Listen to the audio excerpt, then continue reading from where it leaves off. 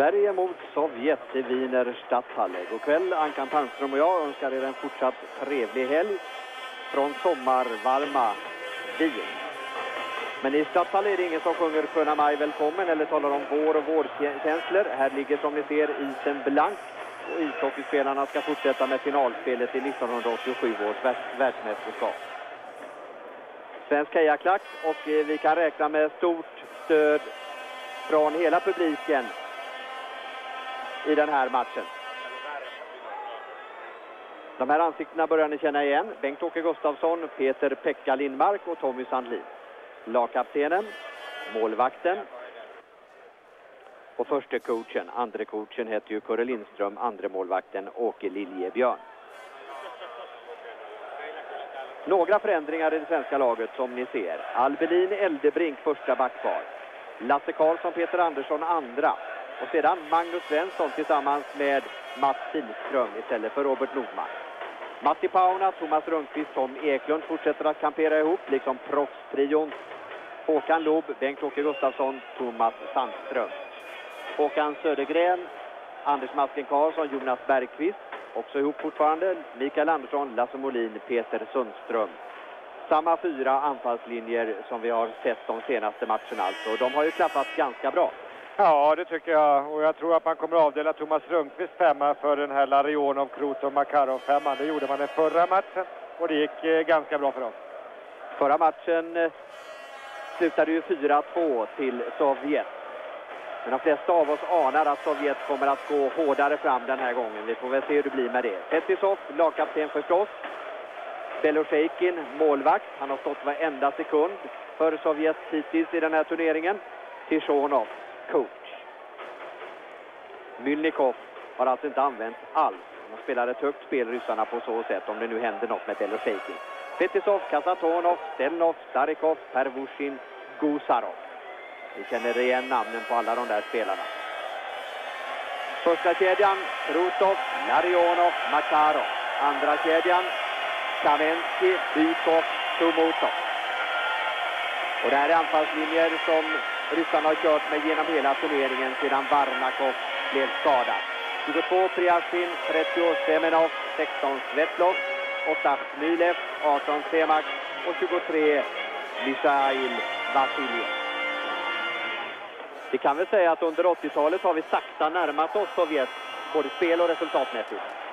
Jag tror eh, att är vi med ett tag i den här matchen så kan vi skaka om Sovjet ordentligt. För jag tror fortfarande att deras värsta fiende i ett sånt här finalspel är deras egna nerver, deras största motståndare.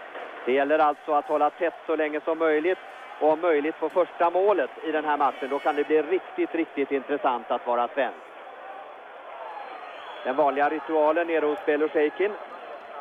Målvakten som har tagit 30 plats och som har gjort det på ett väldigt fint sätt i den här turneringen. Han har växt för varje match. Han började lite taffligt mot Schweiz genom att tappa in fem puckar. Ja, han har varit den eh, bästa målvakten så här långt i turneringen tillsammans med tjeckernas Hasek.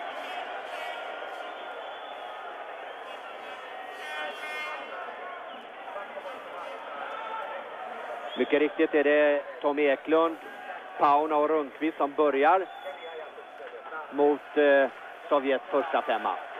Och vi lär alltså få se Rundqvist ganska ofta på isen när Larionov, Makarov och Krutov är där. Här är Makarov.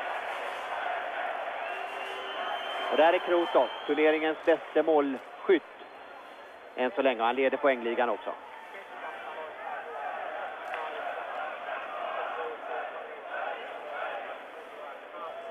Matti Pauna.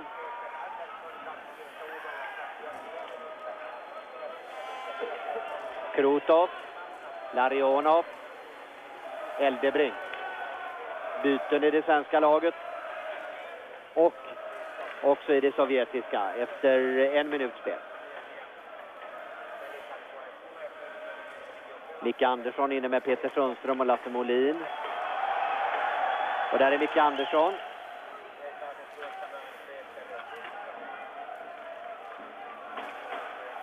Albelin. Peter Sundström mot Bykov. Kamensky. Bykov, Somotov. Bykov, kvick kille.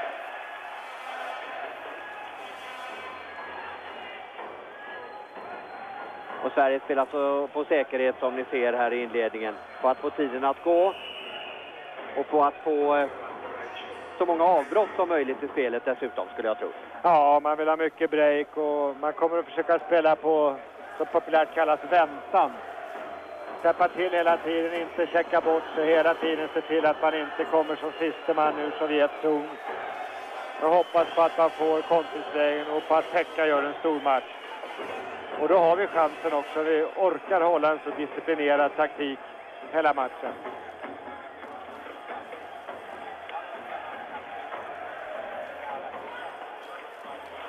Pekka Lindmark är nere.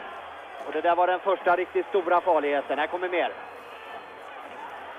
Pekka lyckades få undan den där pucken.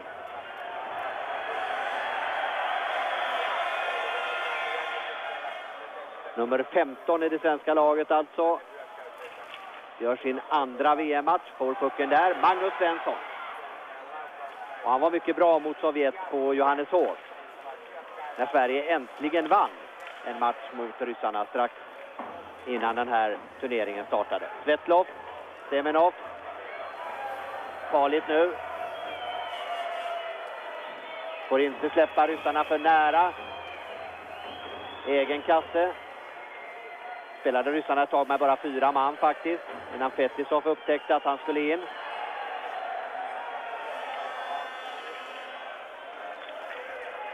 Och Sovjet sätter högsta fart här från första början som ni märker. Svenskarna har ingen tid alls att behandla pucken och komma till något eget spel. Thomas Sandström. Ja, det är bra jobbat här. Nu gäller det bara att få ut pucken ur zon egentligen. Och det är svårt nog. Masken Karlsson tappar den. Och Pekka Lindmark blockerar för säkerhets skull. Ett kort ögonblick, men Trubert hinner inte blåsa förrän han har lämnat ifrån sig pucken igen. Ja, svenska, Svenskarna försöker hela tiden vara nära Sovjets spelare, låter dem skjuta och det är man där och hackar. Så det är svårt för dem att komma till skott.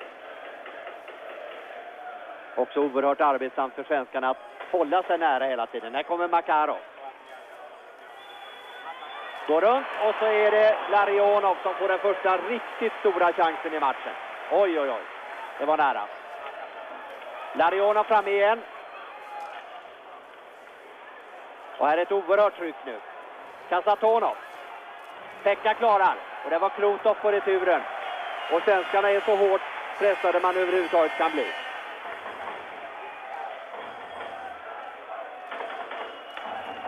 När den här femman får snurr på spelet så är det nästan omöjligt att eh, få, få röra pucken. Men Thomas Rundqvist gör det nu i varje fall. Och gör det bra till Tom Eklund, men det är en red line offside. Och än så länge är det 0-0, men eh, visst har det varit nära ett par gånger nere hos Pekka Lindmark. Ja, framförallt Larionovs eh, fina direktskott som gick strax utanför. Risken när man spelar en sån här defensiv taktik som Sverige gör, det är att man blir stillastående och inte åker med, inte åker skridskor ordentligt. Då kan man eh, bli bortkollad och då kan det komma utvisningar på köpet.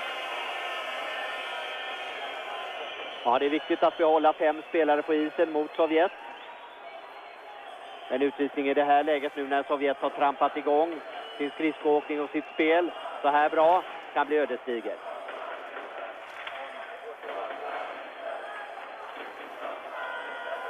Våldsam offensiv. Men pucken studsar rätt nere i svensk zon än så länge. Eldebrink. Pucken högt upp i luften och så ner till Starikov.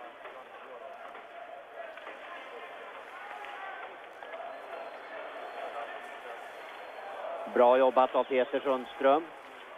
Men ni ser att svenskarna genast har en röding på sig när de försöker få igång eget spel. Pervushin, den mest rutinerade i det här sovjetiska laget. Med inte mindre än sex VM-guld och nio VM-turneringar bakom sig. Gusarov.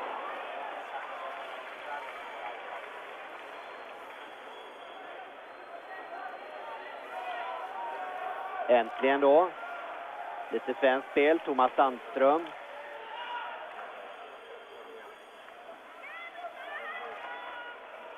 Lub och Priashin. Semak.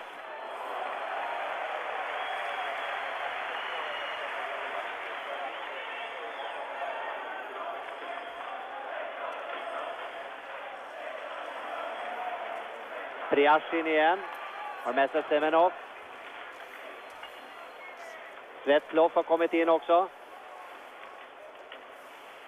Möter Peter Andersson.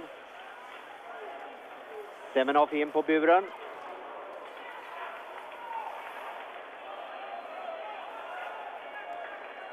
Och så Håkan Loob. Sveriges matchhjälte senast mot Tjeckoslovakien.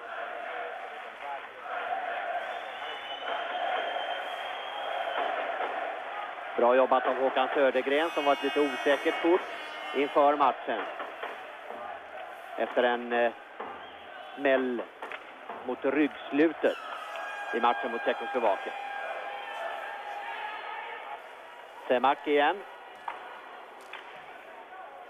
Och Södergren.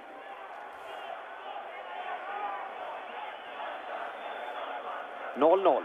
Sju minuter har vi spelat av den första perioden och Sovjet trycker på och trycker på. Fetisov.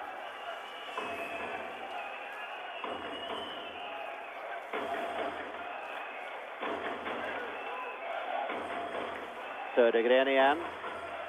Lite andrum då. Och det där gör Håkan Södergren utomordentligt bra.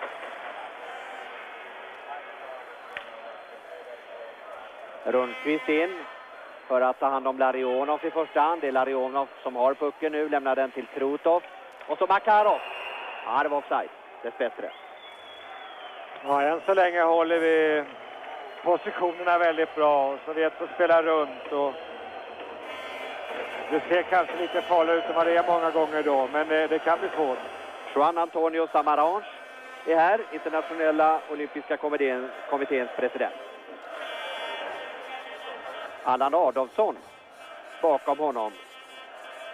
Också en eh, svensk stor ledare. Tidigare i det svenska handbollförbundet. Makarov.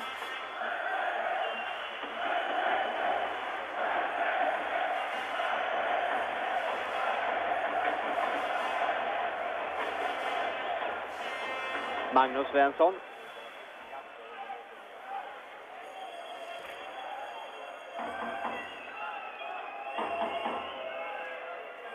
Sarikov. Stelnov. Sarikov igen, Larionov då. Speluppläggaren i den här fantastiska ryska kedjan.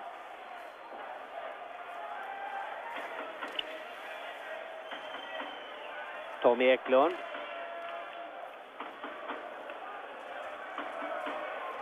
Makarov skjuter fart. Och då går det som bekant undan. Magnus Svensson emot och så är det farligt, farligt, farligt. Och det är till och med mål. Det blir stökigt där för många svenskar som följer puckfararen. Ingen, ingen tittar på Krotov som gör sitt nionde VM-mål. Ja, Krotov är lite, eller förlåt, Makarov är lite lurig där. Han släpper pucken med första stolpen när samtliga tror att han ska gå runt buren. Och Krotov är ju blixtsnabb i skottet. Det hinner inte riktigt med där. Tre svenskar framför buren plus Pekka Lindmark, men det räcker inte. Krotov får komma fram och slå in 1-0 till Sovjet efter 8 minuter och 24 sekunder spel.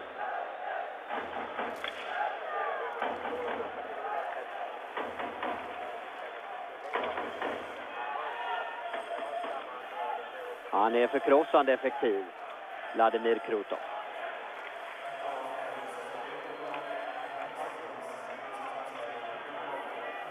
Peter Sundström till Micke Andersson, Micke Andersson till Lasse Karlsson. Tur att han höll i ett tag där i varje fall så att kontringen kom av sig lite. Per Vucin och Pekka Lindmark.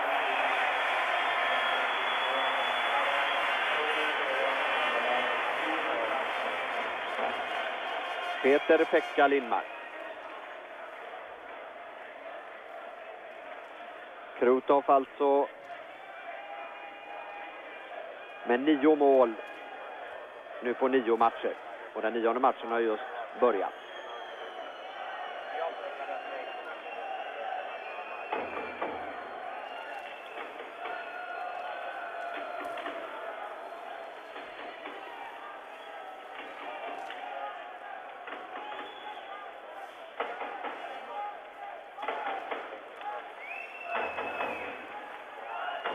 Triashin.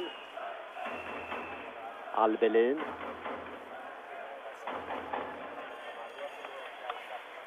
Bengt-Åke Gustafsson bra. Thomas Sandström, Bengt-Åke framför buren. Men eh, pucken var inte där. Däremot åkte Bengt-Åke så småningom på buren. Ditknuffad av en sovjetisk försvarare. 1-0 till Sovjet, 9 minuter och 25 sekunder in i matchen. Håkan Loob. 27 år. Fyra mål, två assist.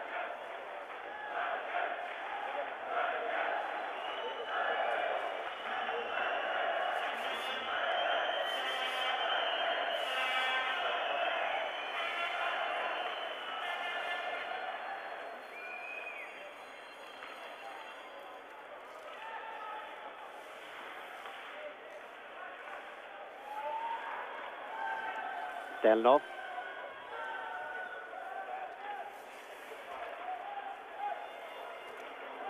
Magnus Svensson. En originell väg, men han hade läget under kontroll. Masken Karlsson. Ännu inget ordentligt svenskt skott mot Belosejkin.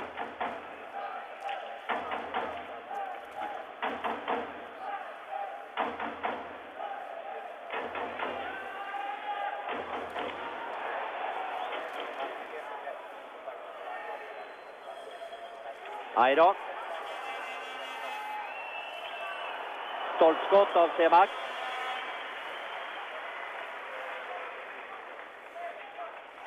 Det är farligt att eh, ens ge en halv meter extra åt en sovjetisk anfallsspelare. Då händer det där. Pauna spelar med sig själv. Så kommer han igen här. Och får en bra yta att spela på faktiskt till eh, Rundqvist. Och så bak till Peter Andersson. Ett bra skott. Det första riktiga svenska skottet i matchen.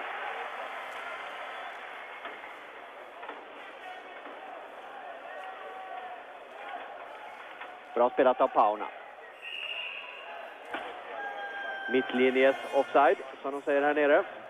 Spel över två zoner. Det är lite svårt för Sverige att veta hur mycket man ska våga gå fram också, för man eh, är samtidigt väldigt rädd. Man måste göra ett mål, men man är rädd att tappa bort folk, för man vet att gör man en felgrej i anfallszon, då, då går det undan sen.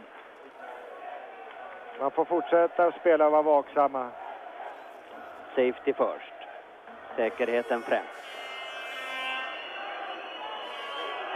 Och än är ju svenskarna inte tvingade att gå till offensiv. Underläget är ju bara 0-1. Något har vi ändå lyft upp spelet de senaste bytena här. Gusarov. Framför buren både Krutov och Larionov. Krutov som nästan är omöjlig att flytta på när han har kommit till läge. Eldebrink, Sundström. Och så Krutov igen.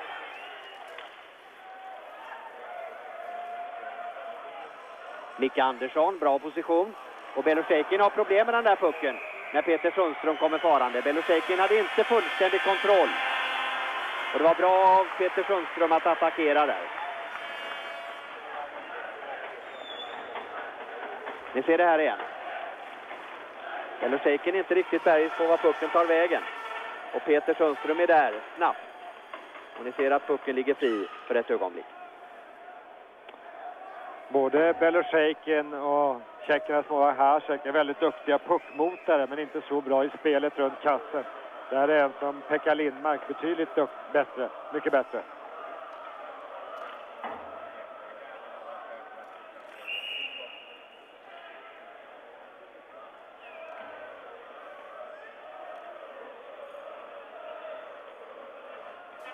Dykov och Bengt-Åke Gustafsson i den här teckningen.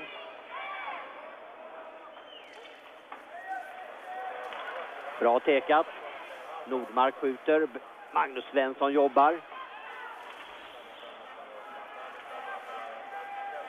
Bengt-Åke igen. Sandström. Får pucken att studsa lite hit och dit på Bykov och Fetisov. Och så är det Kasatonov som skickar fram Kamenski. Kamenski. två gånger, tre gånger. Pekka Lindmark, har du pucken? Nej, inte riktigt, men domaren blåser av.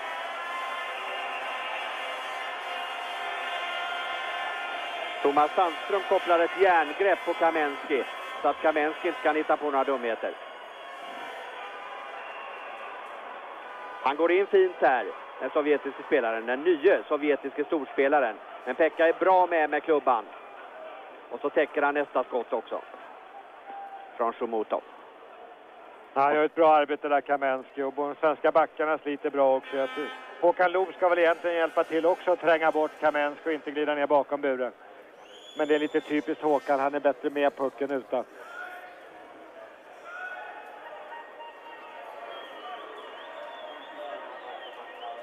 Åtta minuter kvar av eh, första perioden. 1-0 till Sovjet.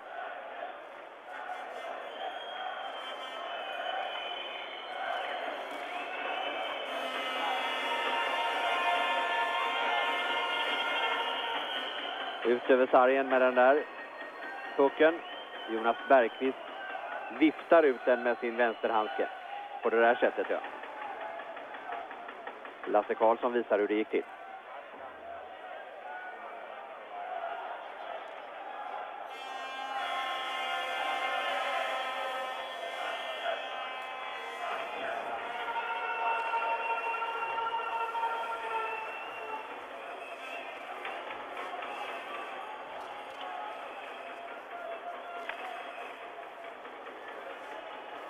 Priashin. Svenskarna har svårt i närkamperna. Inte minst mot de här resliga sovjetiska spelarna som är inne nu. Här är farligt när Semenov kommer fram. Det där var offside. Starikov lyckades inte hålla pucken innanför blå linjen. Det är inte bra att vi står still och hakar oss med de eh, sovjetiska spelarna. Då kommer vi åka ut. Vi ska naturligtvis spela lite på gränsen, det måste vi göra för att störa Sovjet. Men eh, vet inte hur mycket Schubert kommer att tillåta. Då är det bättre att vi eh, åker ifatt dem och åker para bredvid dem istället för efter och hakar med klubban. Viktigt, viktigt alltså att hålla skridskoåkningen igång hela tiden. Och Sverige har ju försvarat sig mycket bra hittills. Dessvärre får vi inte till några egna ordentliga anfall ännu.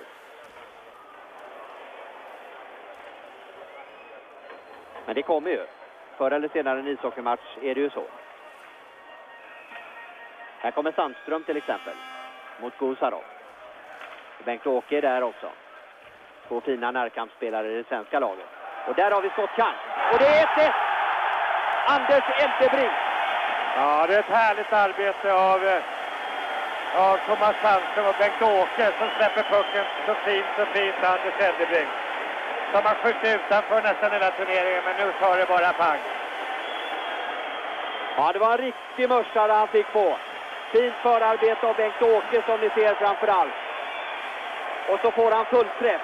Och pucken sitter där bakom Bello Sheikin som inte hade en aning om att svenskarna hade funderat på att skjuta också i den här perioden. För det har de inte gjort tidigare, åtminstone inte på mål. Men första skottet sitter där i skall. Anders Eldebrink efter 13 minuter 16 sekunder. Det är 1-1 och hela Wieners stadshalle kokar. För nu blir det riktigt roligt där.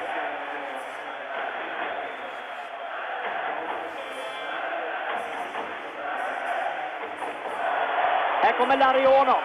Magnus Svensson är på och håller undan mycket bra. Och där är Magnus Svensson igen. Och det där var ju också bra på sätt och vis. Jag har aldrig sett dem skjuta på det sättet förut. Han gjorde en väldigt fin eh, uppåkning av Larionov och Magnus Svensson alldeles nyss när, han var, när Larionov kom eh, ren mot Pekka. Här ser vi hans jätteskott. Vart tog den lilla stygga svarta pucken vägen? Ingen som vet, åtminstone inte Svensson.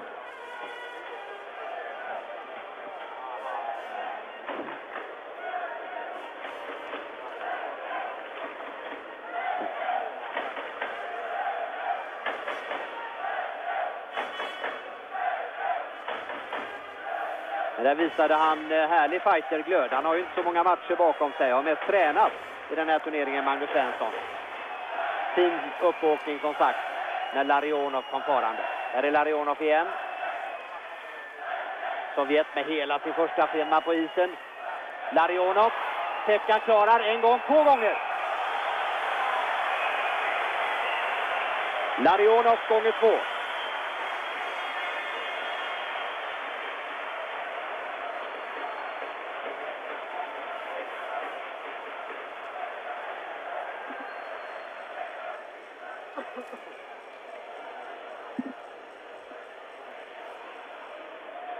Här får han inte upp pucken Larionov och Pekka täcker väldigt bra. Men jag skulle nog helst vilja in eh, Thomas Rönnqvist femma mot den här kedjan.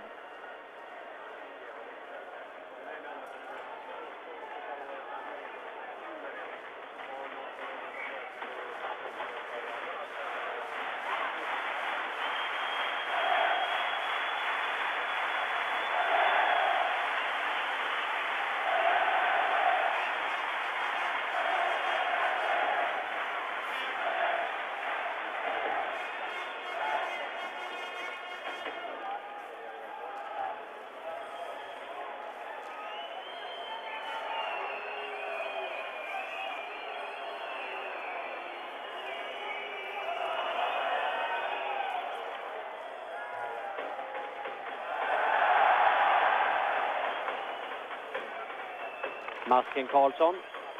Det var den här kedjan som spelade så fint mot Sovjet i den förra matchen. Masken igen. Anders Karlsson, New Jersey Devil. Ja, han är framme där igen. Och Sovjet får slå undan för första gången i matchen. Till Icy. Har gått väldigt lätt för Sovjet de första 12-13 minuterna. Sen när de hamnar under press rätt som det är så, så, spelar de väldigt svåra puckar. Man vill ju dessutom slå alla puckar framåt i första läget. Väldigt bra om vi kan hålla huvudet så här kallt som jag har gjort nu i 14-15 minuter. För chanser får man alltid i ishockey.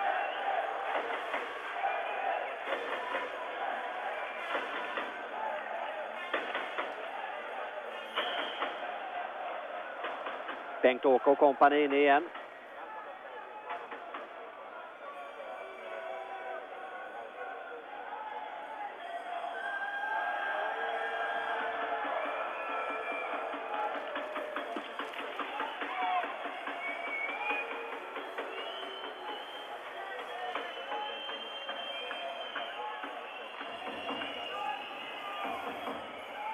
Ja, det är bra jobbat. Thomas Sandström in och skjuter och skjuter bra. Pucken viner förbi den bortre stolpen och det är bara någon centimeter emellan stolpen och pucken. Han har ett mycket kraftfullt skott och ett kraftfullt spel överhuvudtaget, den här killen. Thomas Sandström. Han kan mäta sig med samtliga de här Sovjetspelarna när det gäller styrka och närkampsspel. Magnus Svensson har börjat närmast sensationellt bra med tanke på de få matcher han har bakom sig. Lob jobbar bra där också. Nu ser det riktigt trevligt ut som ni ser.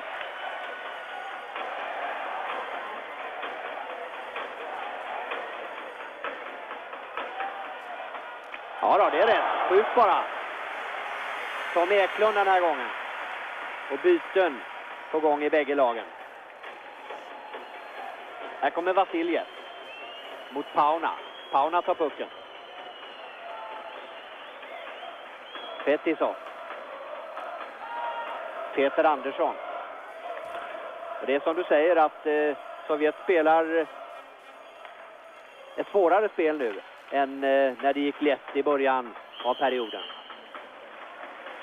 Missar allt oftare den där viktiga första passningen. Ja, det är också ganska konstigt. Vi får väl se, man ska inte ropa hej, men Sovjet har svårt när ett lag eh, håller ihop sig väldigt bra. Tre, fyra spelare på blålinjen. Då fortsätter man att köra fast med samma mönster hela tiden. Här ser vi hur, de, hur Priasin får stopp här mot Sandström och Kihlström. och försöker dribbla sig in eller spela små nätta passningar. Och det går inte. Man försöker inte variera sig, slå in den i zon, jaga efter och störa motståndarna utan svenskarna får hela tiden behålla rytmen. Det har hänt i flera matcher när Sovjet har blivit pressade. Fetisov. Ja, ryssarna räknar hela tiden med att de ska kunna spela ut sina motståndare. De ska inte behöva kämpa ner dem och inte chansa. Titta här då! Ja, det är nog en red line offside, men det är inte med mycket inte. Nick Andersson låg väldigt bra där på den röda linjen. Men det är avblåst. Peter Sundström undrar också om det där var riktigt.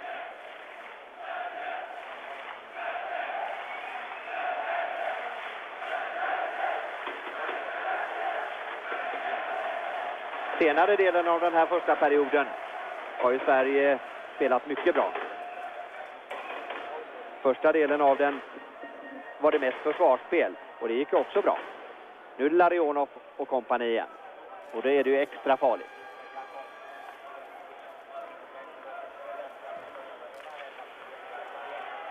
Matti Pauna väldigt fint med där.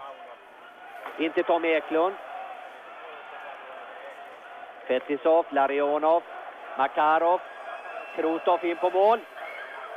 Fetisov mot Eklund. Vart tar den pucken vägen? Den ramlar tillbaka till Makarov dessvärre. Kasatonov. Och så där är Krotov. Och så är en svensk spelare utan klubba. Det är Pauna. Dessbättre pucken ur zon. Och svenska byten. Betisov missar.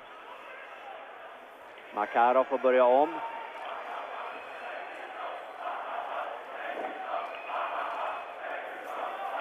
Inga utvisningar.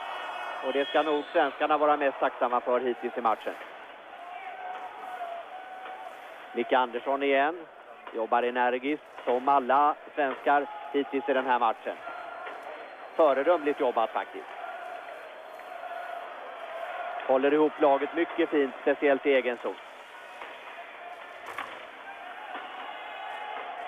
Var är pucken då? Inte alls där ni tror att den är. Håkan Loob hittar den.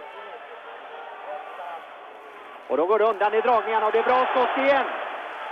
Bengt-Åke Gustafsson. Mycket bra av Håkan Loob. Och farligt där. Av Stelnov. Thomas Sandström. Så stark, så stark. Och det är Bengt-Åke också. Sandström igen. In på mål nu då. Där ja! Där var Bengt-Åke Gustafsson i jätteläge. Och det var oerhört nära 2-1 till Sverige. Nu har proffskedjan kommit igång. Kihlström. En minut kvar av den första perioden. 1-1.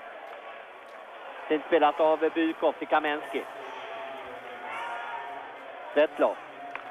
Pervushin.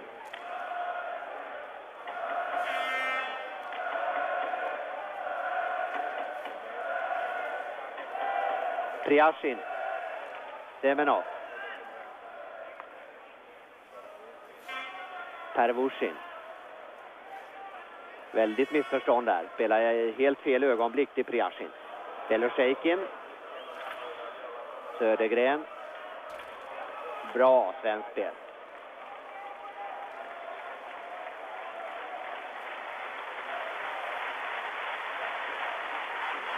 Ställ inte till det här nu i slutsekunderna, Magnus Svensson.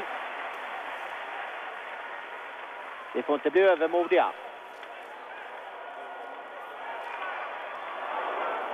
Kanske det som hände här i slutsekunderna. Ja, det är mycket bra svenskt spel. Speciellt sen det man gjorde 1-1-målet har man tagit över den här perioden. Lyft upp spelet en 10-12 meter i banan och ligger och möter Sovjet vid, blå, vid rödlinjen. Och där spelar man eh, från ryssarnas sida med mycket små marginaler. Vi får mer chanser den här matchen om vi orkar hålla samma spelstil. Tarasov säger att Krotov är den bästa forward Sovjetunionen någonsin har haft. Det verkar som om han gör allting så enkelt utan någon särskild finess. Men han är totalt omöjlig att stoppa. Och det beror på att hans spel bygger på högsta mod, säger Tarasov. Krotov ligger flera år före alla andra ishockeyspelare. Ett betyg som kommer från en tränare som eh, själv tränat bland annat Tirsov och Salamo.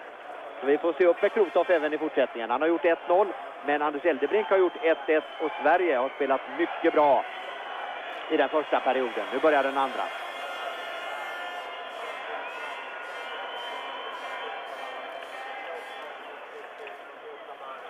Krotov har pucken. Men den lille stridsvagnen stoppas den gången.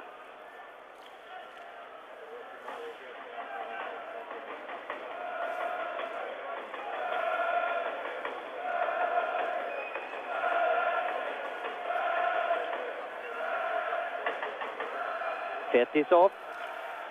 Första gången han åker upp så där i den här matchen. Får se om eh, Sovjet har hittat på någonting nytt i pausen. De har ju haft förundligt svårt att ändra sitt spel tidigare. Tom Eklund! Ja, där kom Fetisov igen. Larionov fint stoppad av Thomas Rundqvist. Som ju är en av de bästa taktikerna i det svenska laget. Makarov. Snygg åkning. Och så är inte buren där den skall. Och det är en eh, sovjetisk spelare som har flyttat på den. Nedsläppt i mittzonen. Det man skulle kunna tänka sig att Sovjet möjligtvis skulle göra det är att eh, försöka stressa och checka svenskarna hårdare när man eh, tappar pucken. Få ner pucken mer djupare i svensk zon så att vi måste vända om och åka ner och jaga. Men eh, vi har inte sett någon tendens till det tidigare i matcherna när Sovjet har haft problem. Vi får hoppas att de fortsätter med det här eh, dribblande kring blålinjen. Bra Sjomotov och Bykov och Kamensky.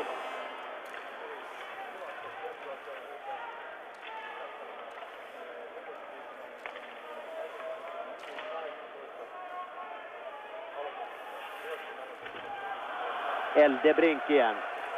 Eldebrink som eh, har spelat upp sig hela tiden i den här turneringen och han börjar inte dåligt heller. Då förstår ni att han är mycket bra just nu. Albelin och Eldebrink.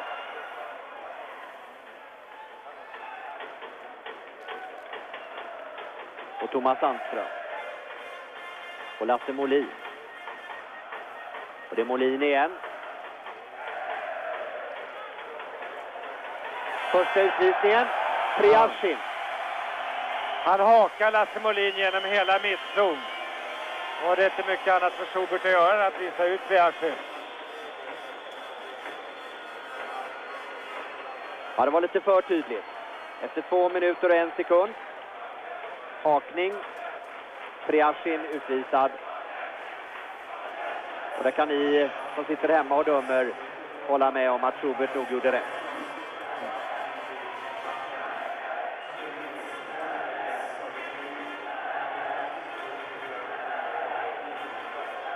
Vi får en bra tekning nu, eh, långt djupt ner i eh, Sovjets zon.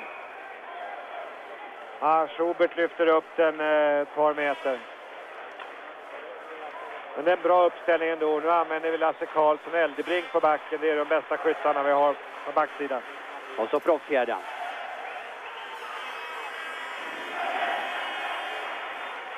Bra tekning av eh, Semenov.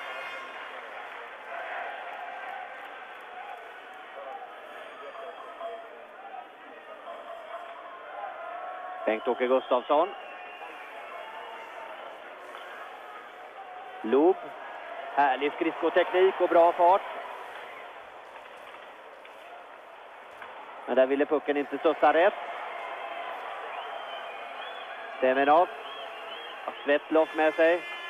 Men föredrar att eh, låta sekunderna ticka iväg.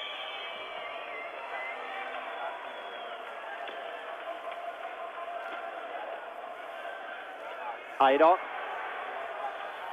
Lasse Karlsson till Svetlov. Tre mot två plötsligt. Och så in i zon. Och Loob. Håkan Loob.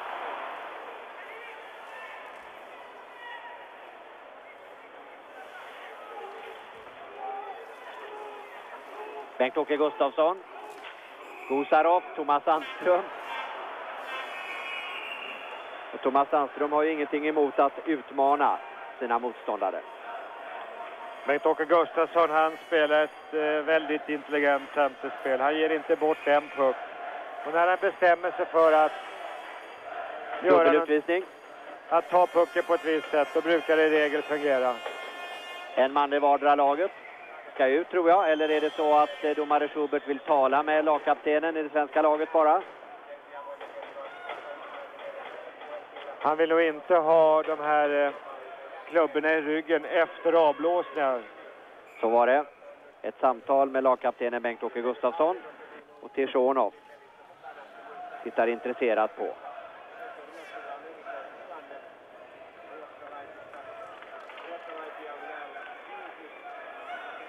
Där var pucken ja. Verkar alltså, som Tom, Thomas Sandström ville ha in den bakvägen och lägga den i nätet genom att lyfta på buren och sparka in den. Knappt en minut kvar av utvisningstiden på Priasin.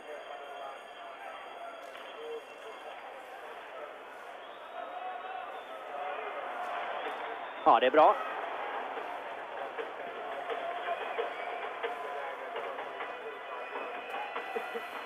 Lille Krutov. Och så masken Karlsson.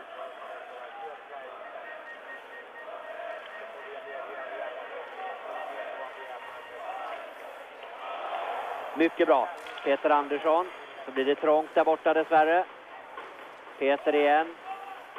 Karlsson, bra! Lasse Karlsson. Peter Andersson. Peter igen, bra!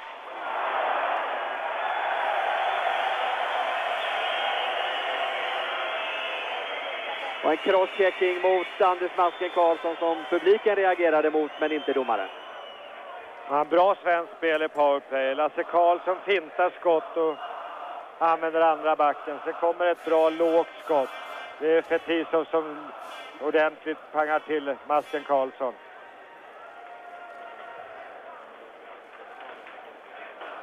Sju sekunder kvar av utvisningen på den sovjetiske spelaren. Riashin.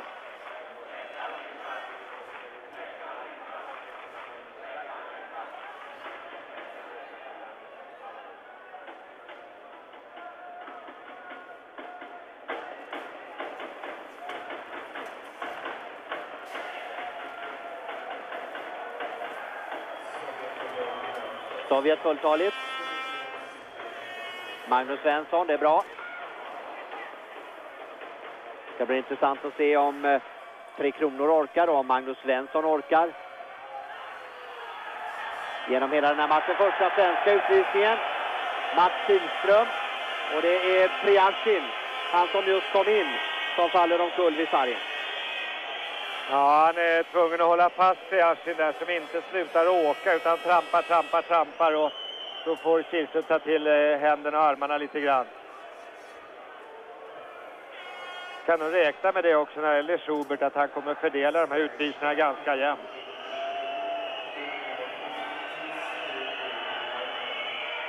Efter 4 minuter och 20 sekunder här i den andra perioden. Mats Kihlström utvisad för fjärde gången i turneringen. Pekka Lindmark gör sig i ordning. Stöter bort pucken där. Eldebrink försöker få den ur zon och det lyckas.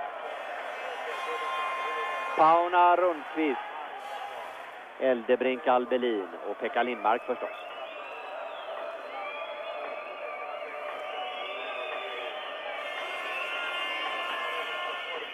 Sovjet originellt nog inte med första femman. Utan med Kamensky, Bykov, Shumotov. Istället.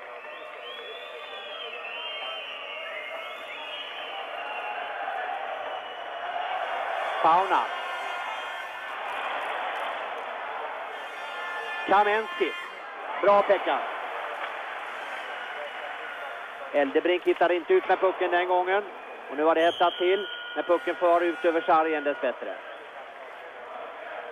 Ja, Pauna blev lite för kylig i mittzon och därför så uppstod den här situationen med Kamensky. Som får skjuta en ganska dålig vinkel och Pekka går ut bra och skär av. Vi ser att han glider ut mot pucken och det blir nästan ingen vinkel alls kvar och går förbi. För pucken han går förbi på. Peter Pekka Lindmark. Som där tillfredsställer publiken med att vinka. Det har de velat ganska länge att han ska göra här inne. Fler och fler svenskar i Wieners stadshalle. Den ena sällskapsresan efter den andra hamnar här tydligen.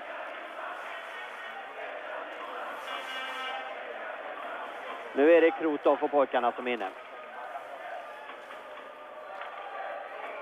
Lasse Molin, Peter Sundström, Peter Andersson, Lasse Karlsson emot.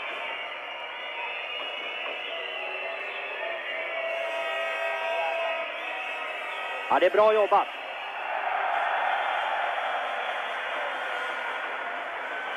Och Makarov ägnar mycket tid i matchen åt att titta långt efter huvuddomaren. Offside. Och så är Krutov på eh, linjedomaren. Och det är ju ett positivt tecken för oss svenskar att eh, de här superstjärnorna allt oftare visar dåligt humör. De har alltid varit så disciplinerade genom alla år. Ja, de är störda nu, de är nervösa och spända. De får inte att lossna spelet. Kommer inte ens in i zon, så de svenskarna som var inne nu mötte upp väldigt, väldigt bra vid egen blå linje. Tommy Sandin. Sveriges taktiska chef här nere. Än så länge fungerar det. Mycket, mycket bra i den här matchen. 20 sekunder kvar av utvisningstiden. Och Pauna är där mot Krosov och stör honom precis tillräckligt.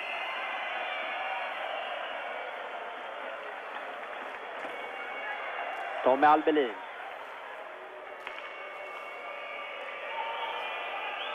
Fyra sekunder. Och pucken i ribban.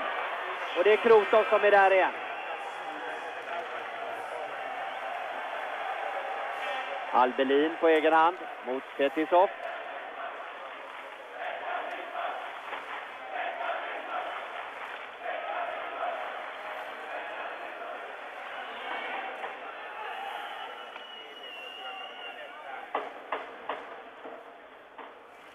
Makarov. Ja, bra spelat. Och det såg farligt ut för ett ögonblick. Det är inte över ännu. Men nu är det över. För nu har Pekka Lindmark tagit pucken. Pekka Lindmark.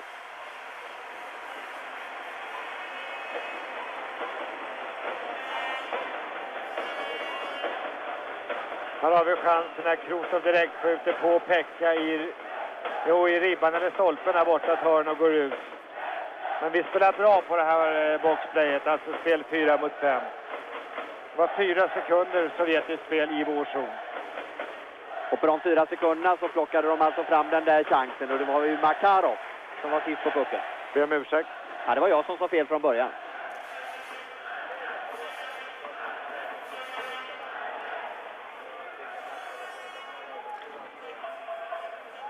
Anders Karlsson. Och svenskarna spelar med eh, allt större självförtroende som ni märker. Jonas Bergqvist, bra skridskoåkning. Södergren, fräcka dragningar. Ja, det är bra! Jonas Bergqvist.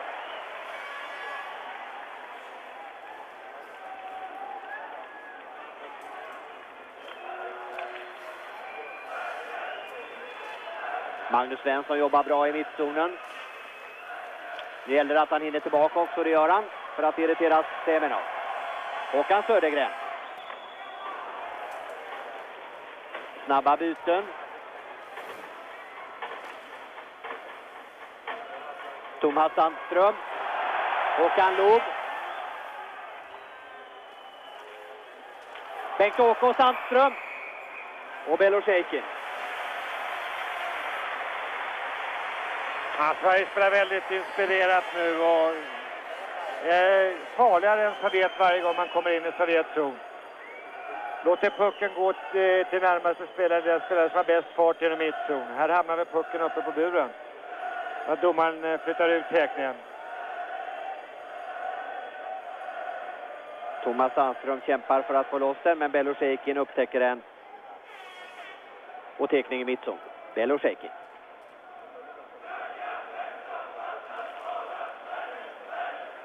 Lasse Karlsson måttar, skjuter. Sarikov.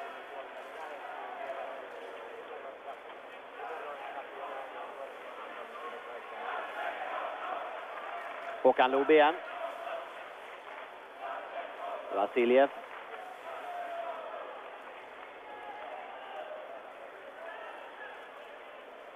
Mylev.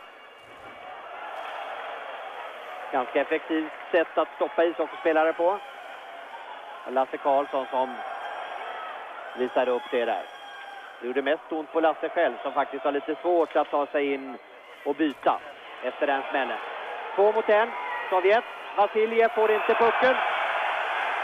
Och så är ryssen där och klappar till Pekka Lindmark efter det att han har skjutit. Och då tänder svenskarna till. Ja, det är Tommy Albelin och ryssen som kommer bli utvisade här.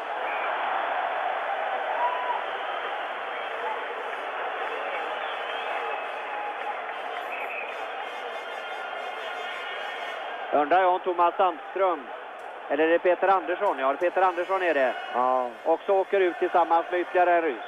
Ja, Vasiljev. Det är 2-2 som åker ut. Stora ytor ett tag framöver alltså. Med en strålande räddning av Pekka först i två mot en situation. Och han håller den pucken, det var viktigt. Sen behöver ju inte ryssen klappa till. Det är upprinnelse till hela bråket. Det är Alexander Semak. Och Semak och Vasiljev utvisade. Liksom Albelin och Peter Andersson. Undrar jag om Semak kanske får två plus två minuter. Det ville nog Bengt-Åke Gustafsson. Bengt-Åke och Fetisov. Bengt-Åke är det som har en pratstund igen med Schubert. Och där fick nog eh, Bengt-Åke en liten varning för att han inte skulle fortsätta att tjafsa. Jag kan i och för sig hålla med om att eh, när det blir sådana där slagsmål så borde ju den som förorsakar det hela, i det här fallet Semak, kanske ha ett hårdare straff. Men andra sidan resonerar vi kanske inte riktigt så om det är svenskarna som startar ett bråk. Nej, jag tycker nog i det här läget så eh, han eh, hoppades ju på retur. Naturligtvis ska han åka ut Semak. Om inte Albelin gör någonting så blir det ingen utvisning. Jag tror vi skulle nog gärna vilja se som du säger en av varje med samma straff. Om det varit en svensk spelare som slog på målvakten. Och så ligger det säkert till. Kanadensarna har ju slagit rätt mycket och inte åkt ut överhuvudtaget för det. Tre mot tre.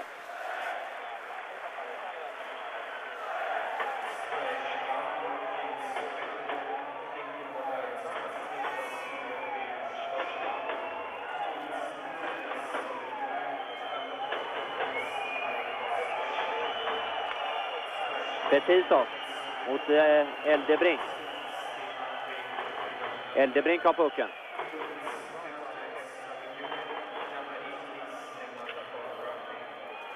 Bra Rundqvist. Jag tror nog att eh, Sovjet kommer att sätta en viss press på svenskarna här.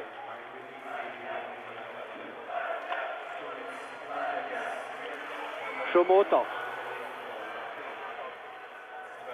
Rundqvist igen. Det där gör han mycket bra. Anders Eldebrink. Rundqvist sätter fart. Sovjet hinner byta. Svenskarna måste väl snart komma till byte också för att orka med det här. Ja, det är kämpigt. De har inte kommit över mittlinjen, men där kan Kihlström byta i varje fall. Makarov. Ja, det är bra utav Eldebrink. Men det är farligt det här. Magnus Svensson inne. Och svenskarna hinner byta. Det är bara Eldebrink kvar i den ursprungliga uppställningen här. Och han borde vara ganska mör vid det här laget. Jag ser om Bengt-Åke kan se till så att Anders får åka och byta.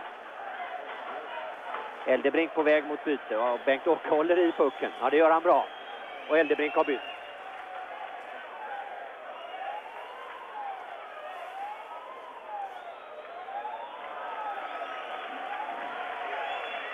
Sverige vill nog ha den här tiden att gå. Här kommer Magnus Svensson. Tre backar har vi inne. Nej, två. Men Bengt-Åke spelar back nu också när Magnus Svensson är ute och åker. Och så är bägge lagen fulltaliga. Och det var vad svenskarna ville. Då kan vi börja spela på allvar igen. Magnus Svensson. Snabb eh, sovjetisk kontring kan bli farlig. Vasiljev. Makarov Vasiljev. Utvisning på en svensk spelare. Magnus Ja. Svensson.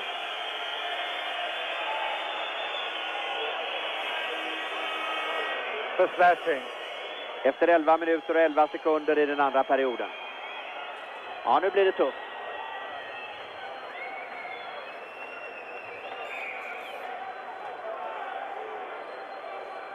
Ja, det är en fin passning, Makarov slår in framför mål.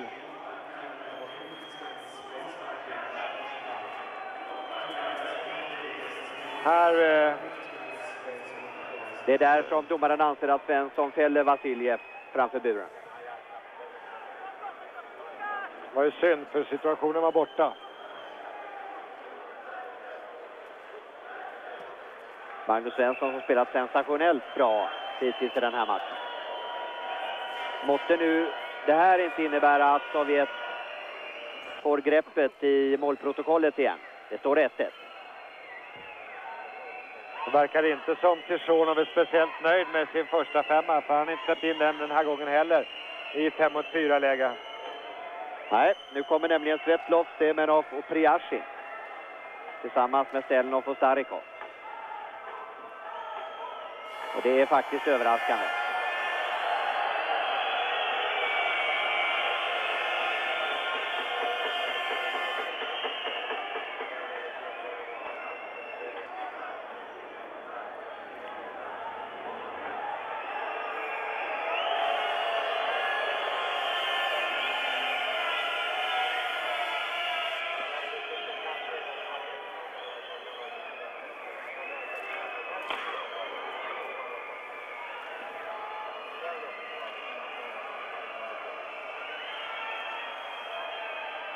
Här gäller precis det som vissa delar av publiken nu ropar. Jobba, jobba, jobba. Och det gör Peter Sundström så bra så att en sovjetisk spelare åker ut. Ja, Stelnov, åker ut för charging. Han har väl en 10-12 skärningar och tacklar Peter Sundström. Som inte är rädd utan går in ordentligt i den närkampen. Svenskarna stressar hela tiden eh, ryssarna på här, i powerplayet. Här ser vi Eldebrink slå pucken bakom mål och Sundström ska ta den och så kommer Stellan långt uppifrån kommer han i banan. Och vräker sig på Sundström som ni ser. Ja, det är fint att vi har spelare som Peter Sundström som vågar gå in i de där lägena. Fyra mot fyra då. Och Sverige behövde bara spela numerärt underläge i 19 sekunder. Hoppas nu att vi inte kör slut på Bengt-Åke Gustafsson. Han är inne mycket som ni märker. Ofta i den här perioden. Men han är ju strålande än så länge, Bengt-Åke. Fyra mot fyra. Shumutov. Albelin tar pucken. Bengt-Åke. Albelin, Bengt-Åke igen. Eldebrink. Lite för lugn där. Får se upp så att vi inte hamnar i svåra lägen här, för det gör vi genom att Bykov och Sjomotov är så 1-3. Och genom att vi själva tog det lite för lugnt. Håkan Loob. Har Sovjetisk spelare. fått en eh, riktig smäll här. Han kommer knappt ut från banan. Sjomotov lyfts in i det sovjetiska spelarbåset. Han låg alldeles nedanför det.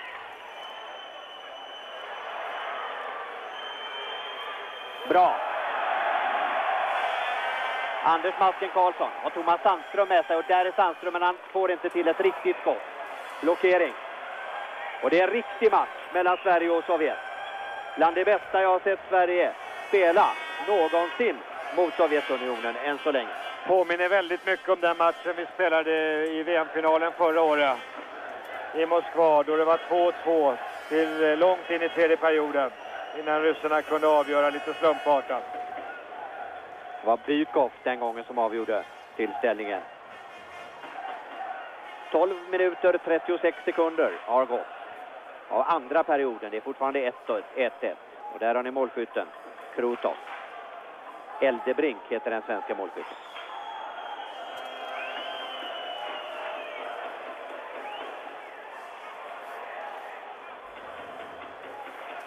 Thomas Sandström, ja det är bra. Anders Karlsson väntar kanske lite för länge med det där skottet. Gusarov.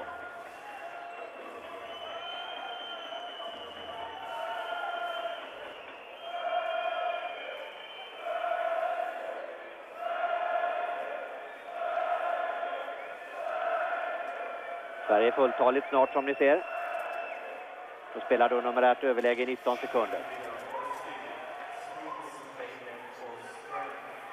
Det ska bli intressant att se om Shumotov kommer tillbaka i nästa byte. Nio sekunder kvar av utvisningstiden på Stelnov. Han såg ju väldigt eh, tagen ut när han lyftes över sargen. Shumotov. Han eh, var ju skadad en match tidigare då han hade fått en smäll på låret.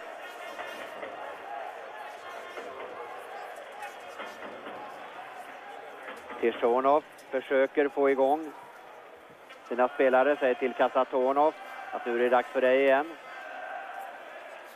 Och han går då in tillsammans med Starikov. Stelnovs utvisning är bara nio sekunder kvar, sen får vi nog ett byte på Kasatonov mot en forward.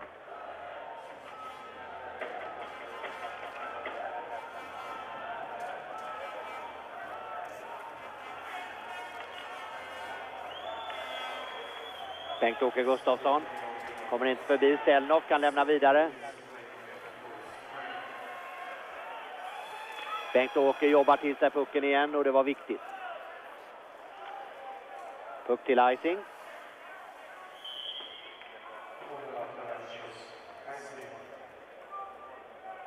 Det är mycket fråga om att orka i den här matchen. Det ska bli mycket intressant att se vad som händer här i fortsättningen. Ja, det är- Pekka Lindmark spelar ju precis så bra som en svensk målvakt måste göra i sådana här matcher. Ja, definitivt. Sen eh, är det viktigt, det ska bli intressant att se, du var inne på det tidigare, om Bengt-Åke orkar. Han har spelat en väldigt, väldigt mycket, mest av alla spelare på banan, och Anders Eldebrink. Och det är ju riktigt naturligtvis av lagledningen att köra de, de stora, de som går så pass bra, så mycket som möjligt. Stelnov. Pauna.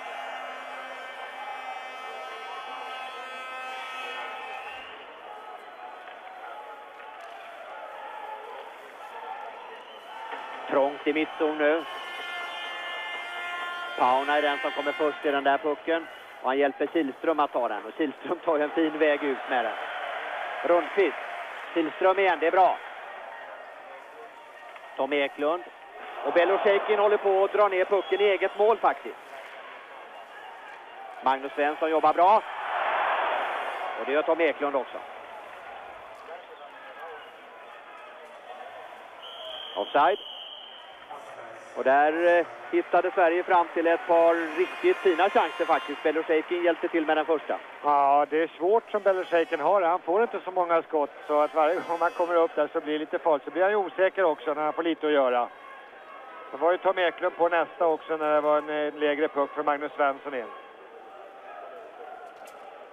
Men det som är så bra så här långt i matchen på Sveriges sida det är att man inte ger Sovjet några ytor alls framför Pekka. Man får skjuta ett skott och gör man inte mål då, då är chansen borta.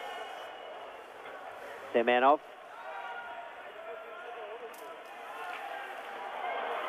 Bra Pekka. Det där var svårt. Direkt skott av Priashin. En meter framför Pekka bara. Och så gör Anders Karlsson det rätta. Ser till att det blir eh, spel avbrott genom den där icingpucken. Fem minuter och fem sekunder kvar av andra perioden.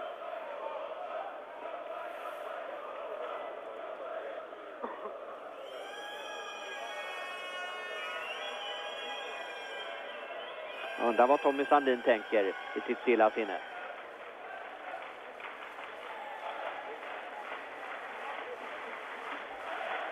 Pekka som alltid ser lika avspänd ut oavsett om vi möter Schweiz eller Sovjet. Ja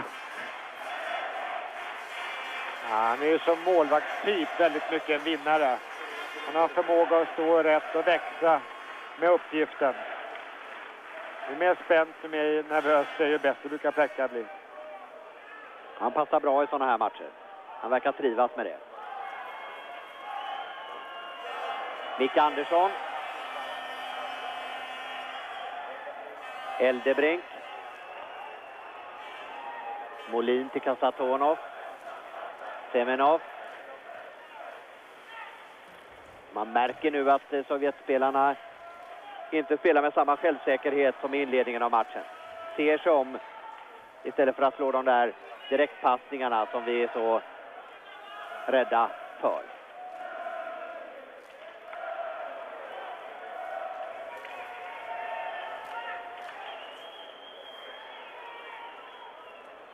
Mera Semenov. Och där går Svetlov rakt på buren. Och där är Pekka. Och vad är pucken? Ja, den är inte i mål. Kasatonov. Och nu är det farligt, farligt, farligt.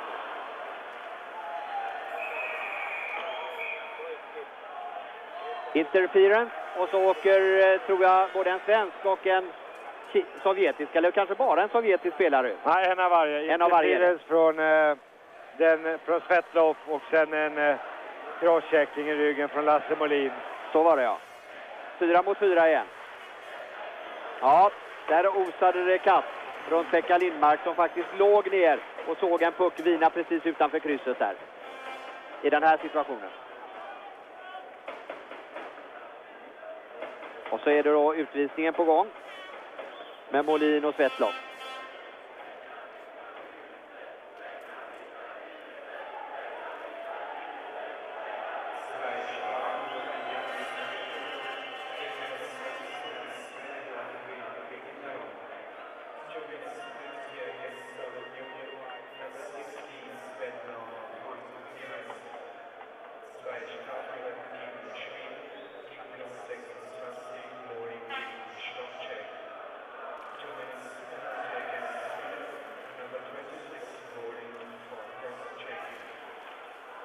Av Bengt-Åke till Kileström.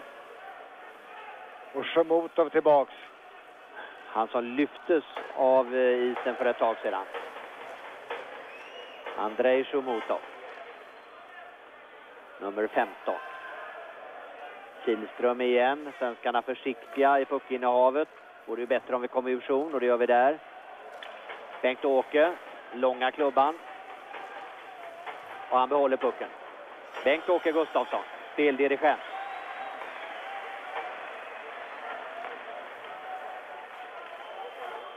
Magnus Svensson, som inte verkar ha gjort annat än att spela VM-matcher. Bengt-Åke igen. Lugnt och säkert, så att svenskarna kan hinna byta.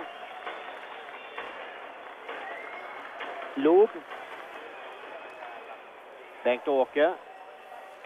Och det är bra! Peter Andersson! Oj, vilken chans! Ja, vilken passning! Ja, Bengt-Åke Gustafsson är matchens lirare tillsammans med Pekka Lindmark än så länge. Han är ju strålande. Han är som en fältherre. Han står rakt upp och tittar. Var lägger jag pucken bäst? Och där lägger han den också. Ja, där la han den åtminstone den här gången. Till Peter Andersson. Ja, en bra räddning av Belosejkin också som glider ut och gör som Pekka brukar göra, skär av vinkeln.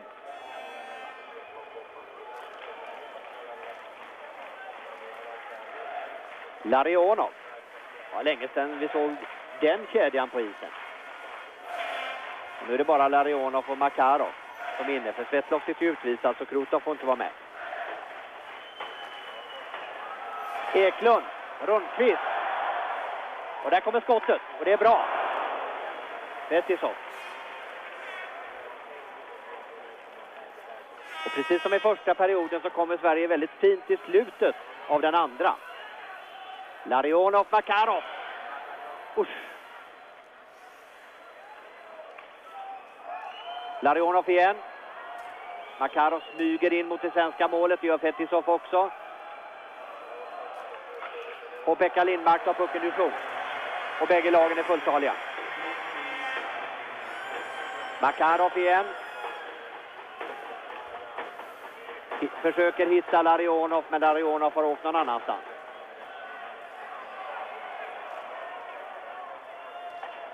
Bra spelat av Peter Andersson till Anders Karlsson. Och så den där långa djupa pucken till Krotov som brukar kunna ställa till med förtret. Men det där klarar Fekta också. Makarov på tennis, alldeles fri med Pekka Lindmark. Ja, det, är, det är mycket bra Pekka. Där släpper vi för en gångs skull till. När eh, Sovjeterna kommer två mot tre faktiskt och de gör det väldigt snyggt. Så vi ska väl egentligen inte låta Makarov få skjuta där. Han står ju på tennis så att han har lite flyt.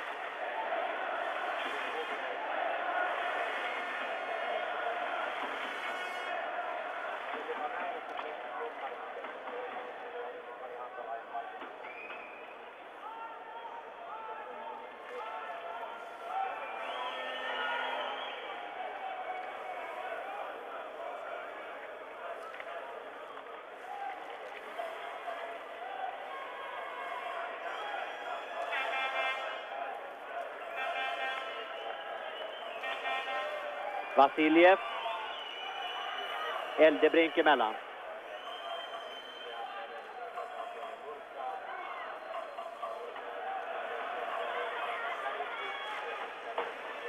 Jonas Bergqvist försökte hitta Södergren och det var nära att det gick.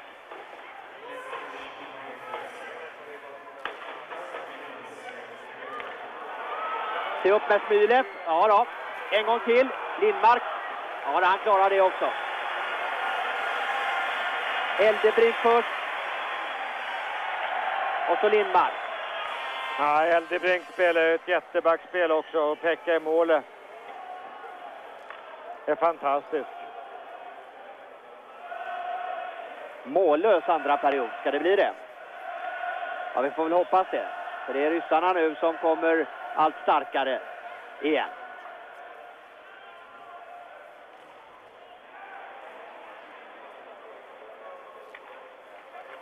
Och svenskarna spelar lite på klockan.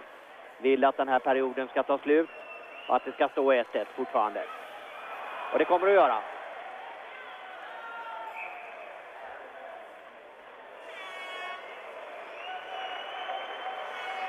Det är bara fyra sekunder kvar och en tekning i sovjetisk zon. Här kommer Pekka ner när Smylev skjuter andra gången. Och han gör det perfekt. Och så tar eh, herr Karlsson undan pucken fint. Anders Masken Karlsson. Ja, nu har vi ett bra läge här. Vi har alltså tekning nere i Sovjets anfallszon och Rundqvist brukar kunna teka bra. Fyra sekunder kanske man hinner få på ett skott på. Om man ställer upp sig för det också. Lasse Karlsson, Eldebrink. Rundqvist, Bengt-Åke och Sandström. Ska se om Rundqvist vinner tekningen. Nej. 0-0 alltså i den andra perioden.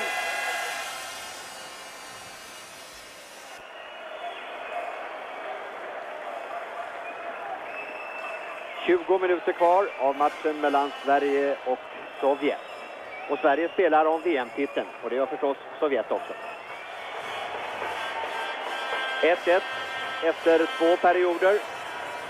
Peter Pekka Lindmark, nyckelman i den tredje perioden också förstås. Bengt-Åke Gustafssons ork är väldigt intressant också. Han har spelat mest av alla på banan tillsammans med Anders Eldebrink och de två har nog eh, får nog hålla som banans två bästa utespelare. Bengt-Åke har ju en resning på plan som är imponerande. Det är naturligtvis så att ingen svensk spelare har varit dålig så här långt i matchen men några, ett par, tre har ju höjt sig lite grann över mängden.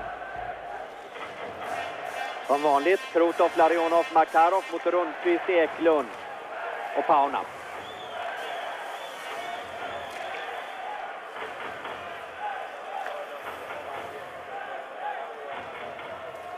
Eklund. Tas bort av Larionov och så kommer Krutov. Makarov på mål. Men där är Pekka först. Kasatonov. Pekka igen. Får han undan pucken? Ja, till Kasatonov som missar. Och Beloshejkin tittar jag på i samma ögonblick av någon anledning. Och han sätter händerna för ansiktet. Hur kunde han missa? Ny chans. Larionov. Kasatonov. Och svenskarna slår undan. Pekka Lindmark. Hårt ansatt där nere.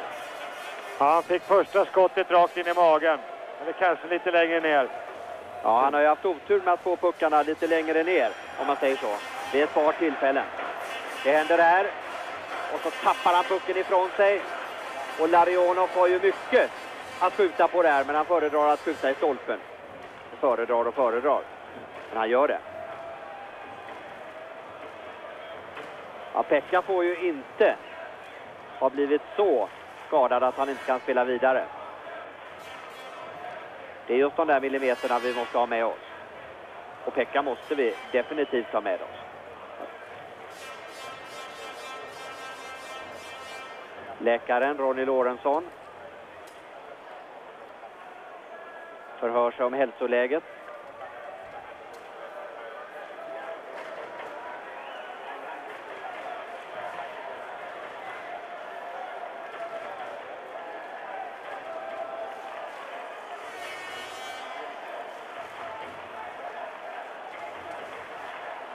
Vill nog mycket till för att eh, Pekka ska bryta den här matchen. Situationen en gång till. Det är här han får pucken lite olyckligt.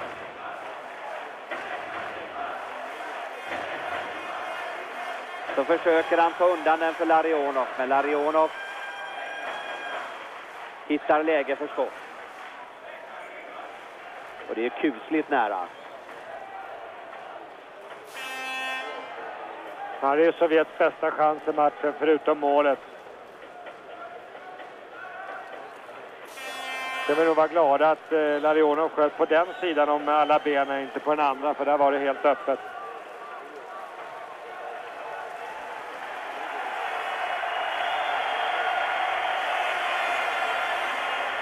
Ja, Lindmark har mått bättre, den saken är klar. Hoppas nu att han eh, orkar, han också. Att hålla samma standard i fortsättningen av matchen.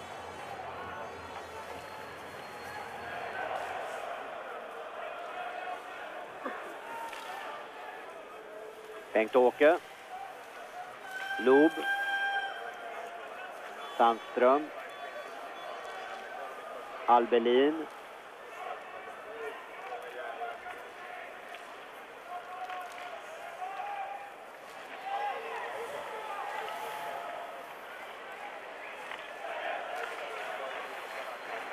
Bengt-Åke en gång till till Loob.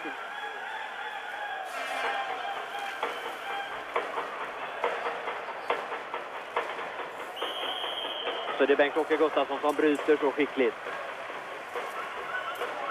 Ja, du bara njuter när du ser Bengt-Åke Gustafsson spela ishockey. Ja, jag håller ju honom för en av Sveriges bästa ishockeyspelare någonsin. Och eh, jag tycker han eh, visar en väldigt hög klass i en eh, turnering av, mot sådana här motståndare. Han ligger dessutom upp och krigar i skytteligans topp med två mål och sju assist.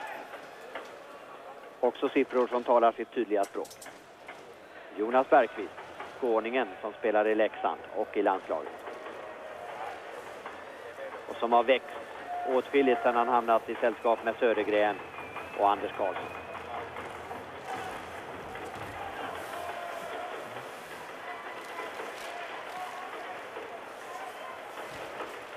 Priashin. Gusarov.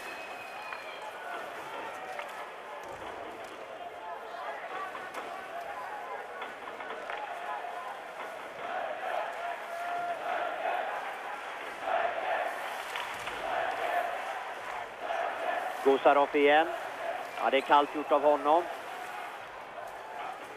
Priashin. Och fint jobb av Kihlström. Semenov. Och det är bara att tacka Jonas Bergqvist för uppoffrande spel i egen zon där. Och här kommer han i den zonen. Och det var heller inget fel. Men nu får vi en tekning i anfallszon.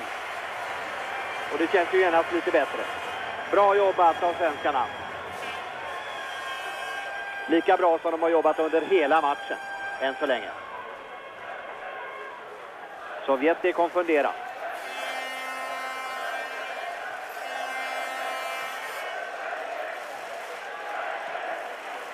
Problemet för Sovjet är ju att de bästa spelarna inte går tillräckligt bra och då är det egentligen tredje och fjärde femmorna som man får förlita sig på. Och de håller normalt inte bättre nivå och standard än Sveriges kedjor. Fin tekning av Molin. Och passa på då att berömma Thomas Rönnqvist, Matti Pauna och Tom Eklund som har spelat så bra som man har tagit bort i stort sett den, de berömda. Larionov, Krutov och Makarov. Därför får vi se mer och mer av de mindre kända sovjetiska spelarna.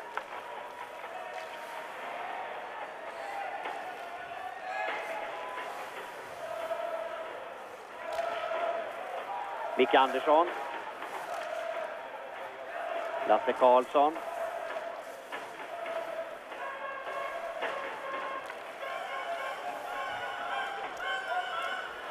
Och Beloshej King är ute och vet inte riktigt var pucken tar vägen. Den studsar ofta lite oberäkneligt just där, nere vid sargen. Pauna jobbar jättefint igen mot Larionov. Och det som du har sagt här tidigare att det fina med det svenska spelet är att det inte är oschysst utan att de åker sig in i positionerna och tar pucken och spelet ifrån Sovjet. Här är Krutov.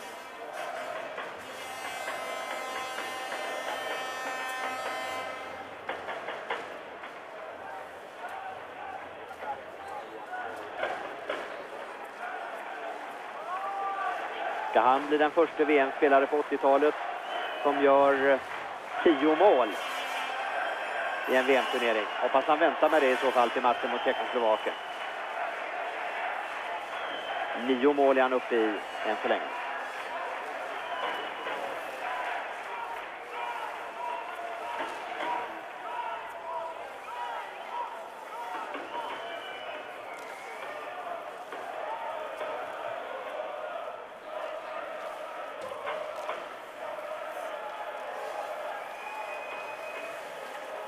Larionov. Tas lika snabbt ur zon som han kom in i den.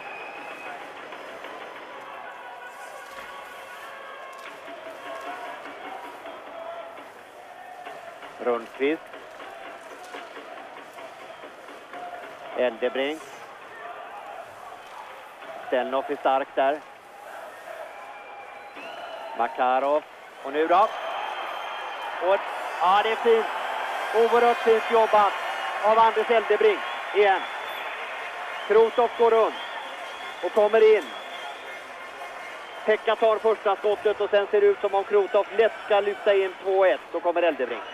Ja, han står så rätt, så rätt, så rätt. Vi hade nog varit inne lite för länge mot den här femman. Här ser vi Pekka. Det är kvickt och bra gjort av Krotov. Sen ser vi Anders som offrar sig och det är det vi vill se.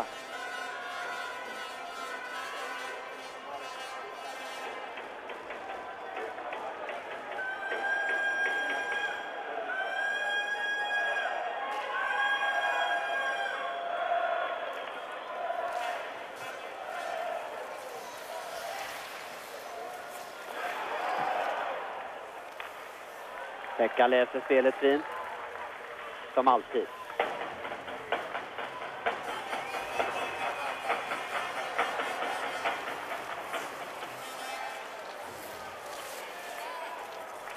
Thomas Sandström.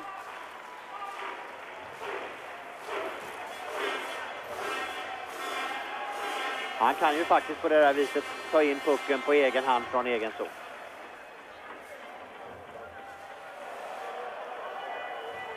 Bengt-Åke Gustafsson.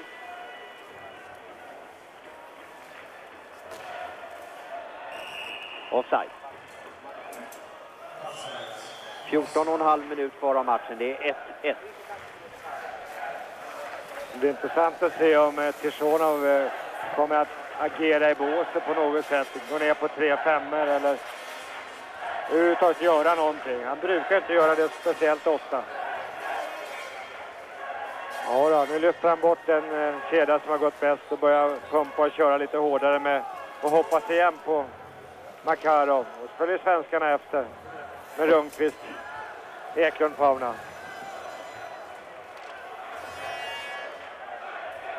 Tishonov försöker alltså hitta på någonting, matcha lite annorlunda ett tag. Makarov, Larionov, Krutov in en gång till. Och det är nog ganska smart i och för sig. För den här orkar ju ofta lite mer än vad svenskarna gör. Och i och med att Pauna, Rundqvist och Eklund får jobba lite tätare mot de här, oftare, så kan det bli problem. Vi får se. Fetisov, hela första femman inne igen alltså. Makarov.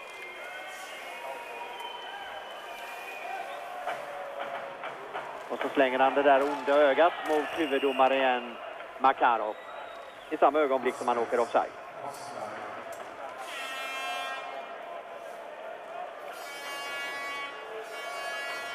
Och så fick de inte vara inne längre.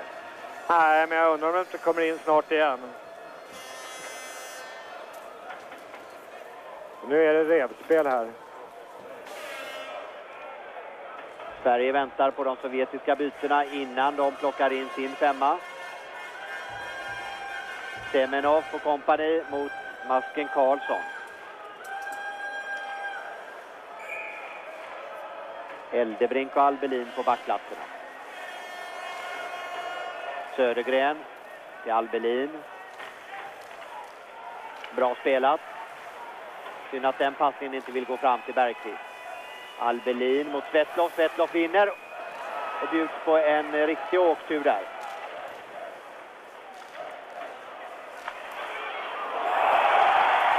Peter Pekka Lindmark. Det räcker att säga det.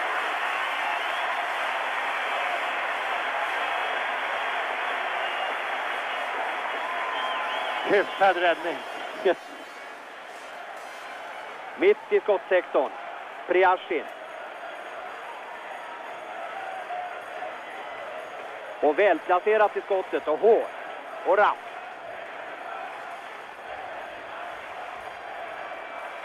Men där är grabben från Kiruna i vägen.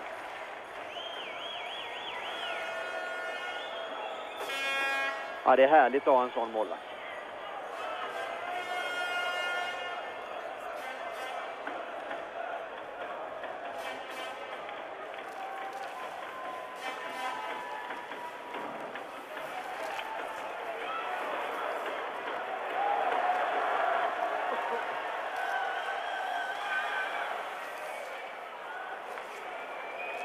Kamensky.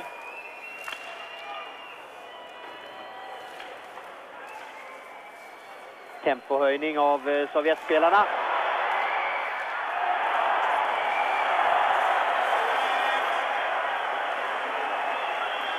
Eldebrink utan klubba.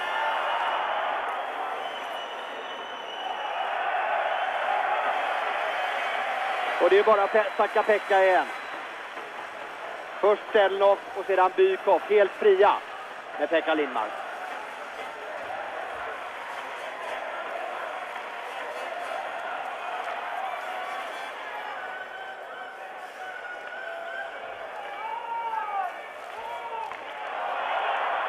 Peter Sundström i stolpen!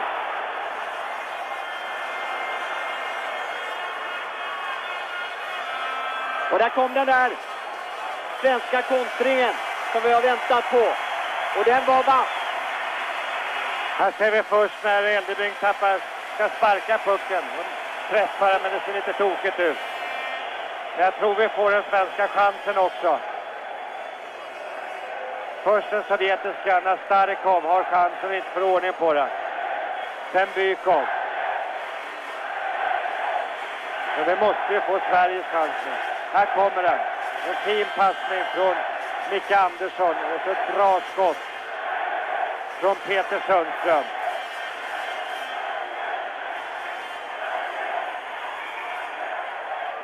Och pucken tar i stolpen. Ja, det kommer fler skott.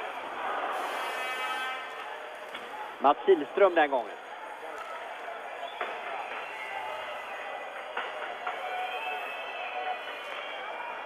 Krotov och kompani in igen.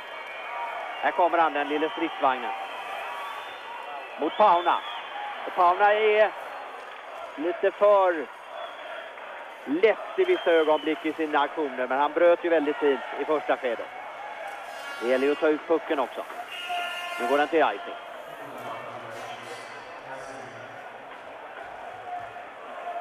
Och Tishonov grubblar och grubblar. Och det börjar nog de här lirarna också göra. De är inte vana vid att hamna i sådana här lägen. Nu har de gjort det både mot Kanada och Sverige i slutspelet. Ja, svårt att hitta på något nytt. Nu har de ju haft det jobbigt mot Pekka Lindmark också som har gjort en del eh, rent fenomenala räddningar. Normalt målvaktsarbete hade det väl stått eh, kanske 4-2 den här matchen. Ja, det är ju lite illavarslande i och för sig att Pekka nu måste göra fantomräddningar för att hålla rent. Det tyder ju på att Sovjet skapar bättre lägen än de gjort tidigare i matchen.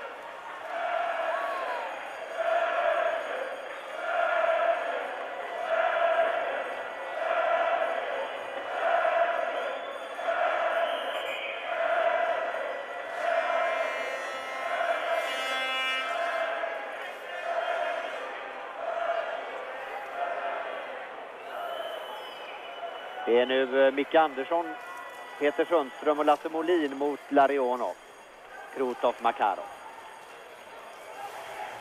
Och det är det helt enkelt på det sättet att eh, rundkvistarna inte orkar hela vägen. Utan någon måste gå in och ta ett pass mot de här också, någon annan.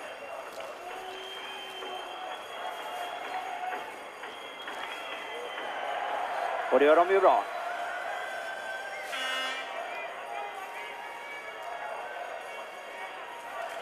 Förståndigt spelat. Belosekin. Ja, ni ser att han är lite nervös. Hade inte riktigt ordning på den där pucken. Och blir tvungen att blockera fast han inte alls är attackerad egentligen från början.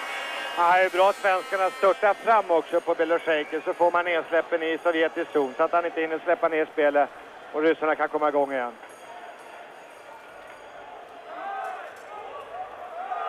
Håkan Loob i närbild.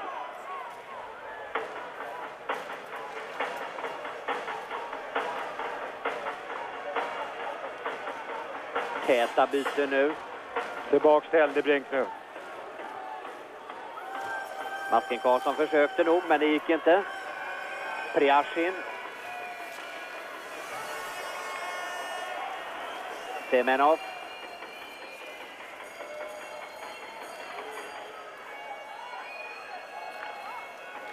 Pervushin. Svetlov. Och Eldebrink tar pucken.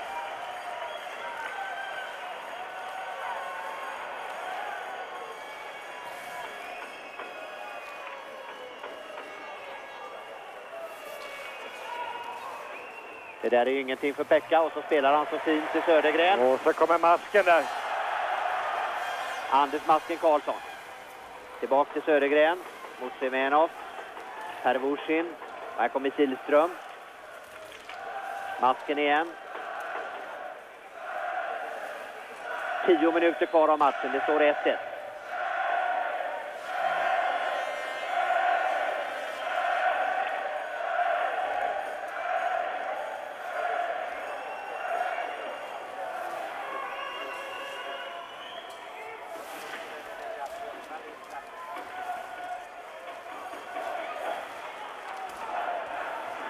Bengt-Åke Gustafsson. Får en utvisning på Kihlström för att han håller fast Kamensky. Sen drar ut en högernära.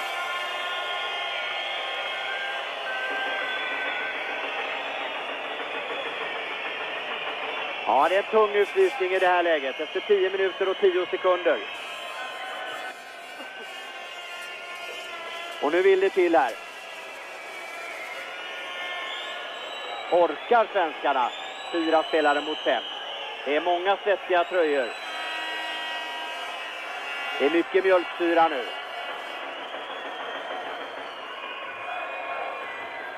Utvisningssituationen fick ni igen där. Och det känns hårt att få den där utvisningen nu. Ja, Kihlström blev ju bara irriterad för att Kamenska höll fast eh, klubban för Kihlström när han skulle slita sig loss. Det är klart, man ska kanske inte slå någon i huvudet då med armen, men jag tycker eh, det var mycket tuff utvisning att ta. Ja, särskilt i det här skedet av matchen. Det kan ju bli matchavgörande. Intressant att se på nytt hur svenskarna klarar det här. Men nu är det hela första femman som spelar upp här med Makarov, Larionov, Kastat på honom.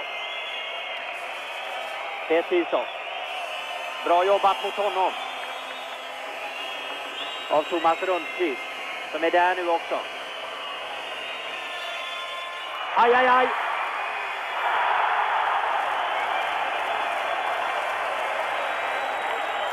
Krotov igen. Det var egentligen en miss ifrån eh, Sovjets sida. Så studsar pucken mellan benen på svensken och Krotov av alla.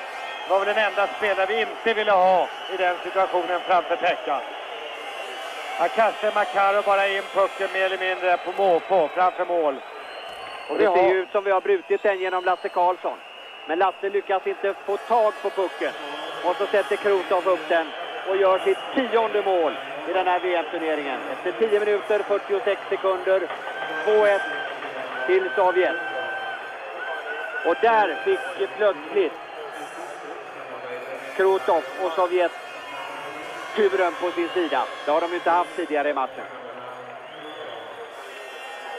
Och det var som sagt var en mycket, mycket tuff och tung utvisning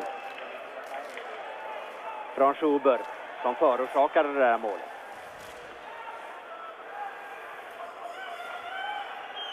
Den lär bli omdiskuterad. Men den är ingenting att göra åt. Det är bara att glömma den så fort som möjligt och spela vidare. tror nog att vi i alla fall kan hoppas på att vi får ett 5 mot 4-läge från Sveriges del också. Bengt-Åke Gustafsson till Loob och Loob kommer fram mot Starikov. Aj då. Får börja om med Eldebrink. Bengt-Åke. Och så en kontring. Tre mot en. Bykov. Och där, ja, det är strålande. Ja, Kihlström täcker föredömligt. Går ner i exakt rätt ögonblick. När Bykov tänkte spela tillbaka. Sandström bjuder på ett styck tryckare. Gosarov ser sig om och undrar vad som i all sin dar försiggår, som försiggår.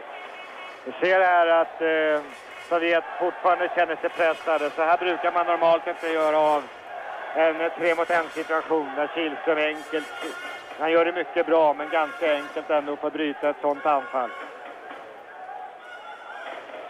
Svenskarna satsade framåt och det är klart att eh, nu talar ju tiden för att vi måste göra det. Det är åtta minuter kvar av matchen. Sovjet leder med 2-1. Magnus Svensson, det är rätt. Belosejkin eh, verkar inte vara helt i slag den här aftonen. En av många nervösa Sovjetspelare. Det är ju världens bästa ishockeylag som Sverige möter här.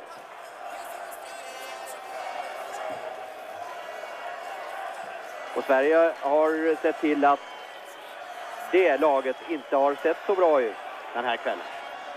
Nej, långt därifrån. Även om Sovjet har skapat en hel del bra chanser den här perioden. Men vi har nästan haft den allra vassaste med Peter Sundströms fina stolpskott.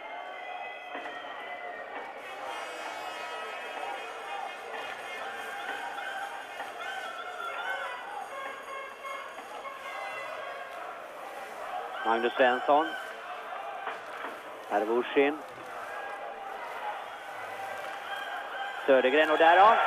Jodå. Ja, där kommer utvisningen på Gusarov. Interference. Ja, det var rätt. Ja. Vi får nog snart ett 5 mot 4 läge. Han kände det, Schuber, att det var väl tufft det där. Att eh, ta ut Tidström nu. Så nu får jag se om jag inte kan hitta någon eh, röding också. Och det gjorde han. Ja, han har en tendens att döma på det här sättet, Sober, så att då behöver han inte få skulden att han avgör matcherna. Man har blivit, eh, ofta man blir väldigt, väldigt irriterad för att eh, man kan få en tveksam utvisning. Då står man bara och väntar på när man själv får den.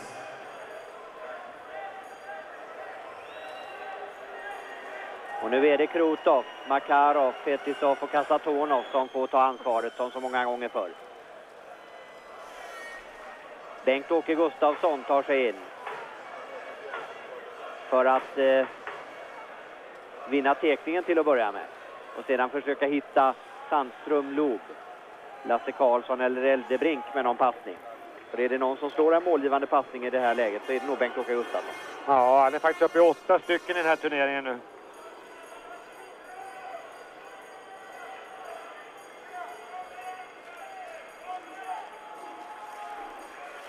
Ja, han vinner tekningen. Så tappar han pucken till Fetisov, dessvärre. Lasse Karlsson är där och tar den tillbaka.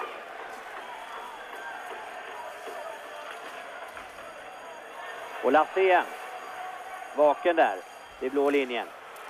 Makarov på tennis.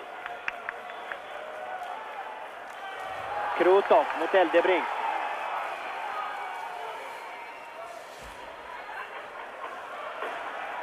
Bengt-Åke, Sandström. Bra läge för Karlsson. Ännu bättre för Eldebrink kanske. Och så Loob.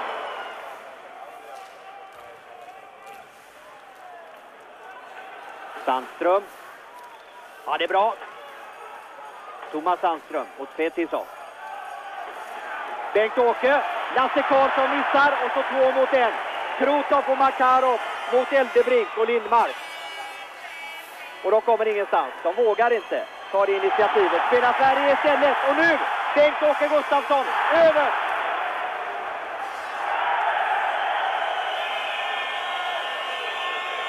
Och Makarov som var så trött, så trött, så trött och gick till bakgrund och spelade fram Bengt-Åke mitt i ett byte för Sovjet.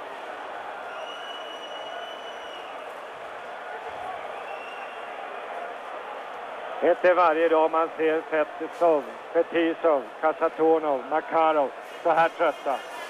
Här ser vi passningen, Bengt-Åke får den nere från egen zon.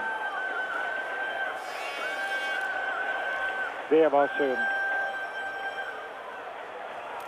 En gång till. Strax över. Och sedan får han en ordentlig smäll här. Av Fetisov. Och Belosejkin blockerar och drar en lättnadens suck. 46 sekunder kvar av utvisningstiden på Gusarov. Och det har varit en händelserik utvisning.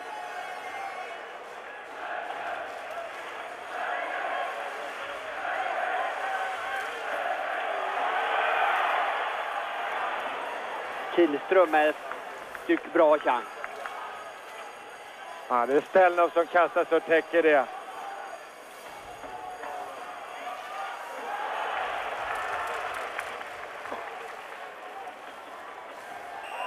Red line offside.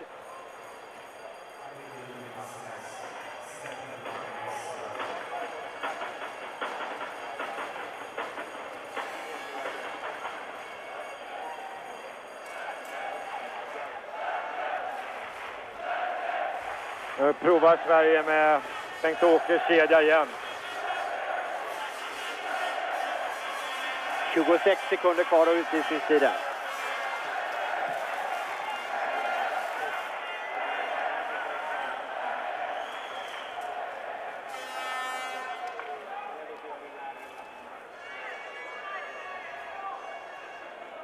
Bengt-Åke tittar på klockan. Det är sex minuter kvar av matchen.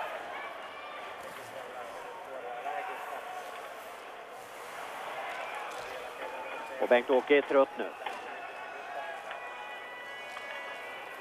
Albelin.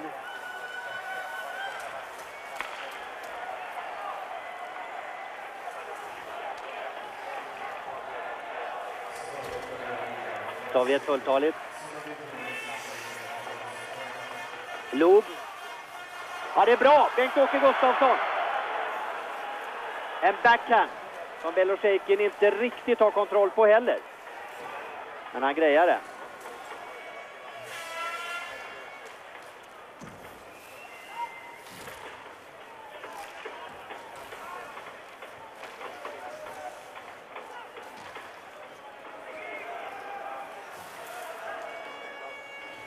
Semenov. Håkan Loob.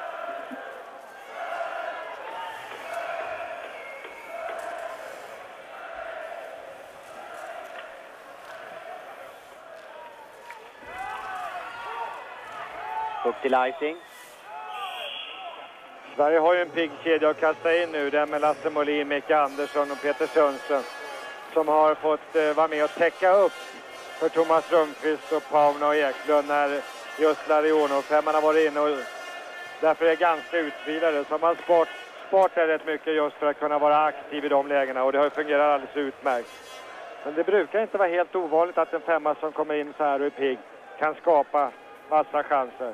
Bengt-Åke och kompani skapade ett styck chans där, som ni såg, med Bengt-Åkes backhandskott.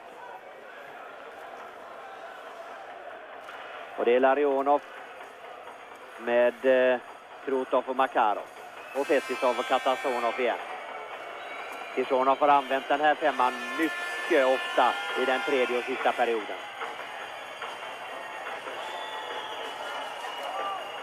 Fetisov försöker tränga sig in.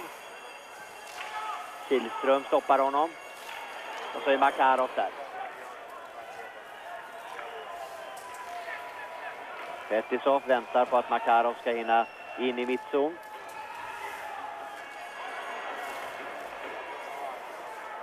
Magnus Svensson.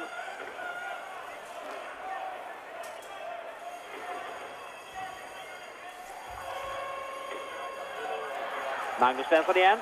Försökte hitta Micke Andersson.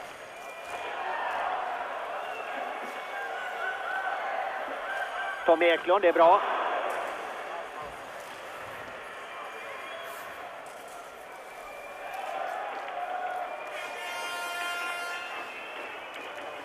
Bykov i farligt läge.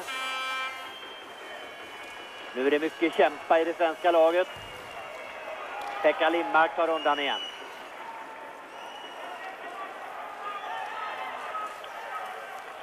Thomas Rundqvist. Eklund försöker hinna fram, hinner inte. Lasse Karlsson.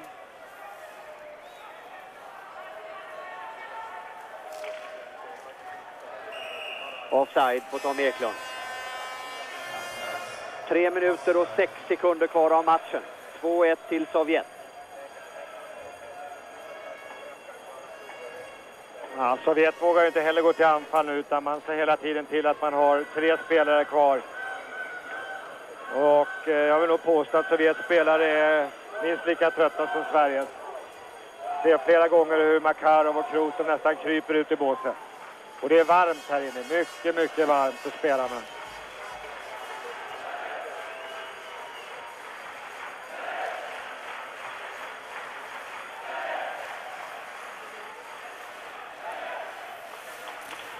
Södergren tar pucken. Albelin får den. Och Belosejkin håller i den så att det blir nedsläppt i sovjetisk zon igen.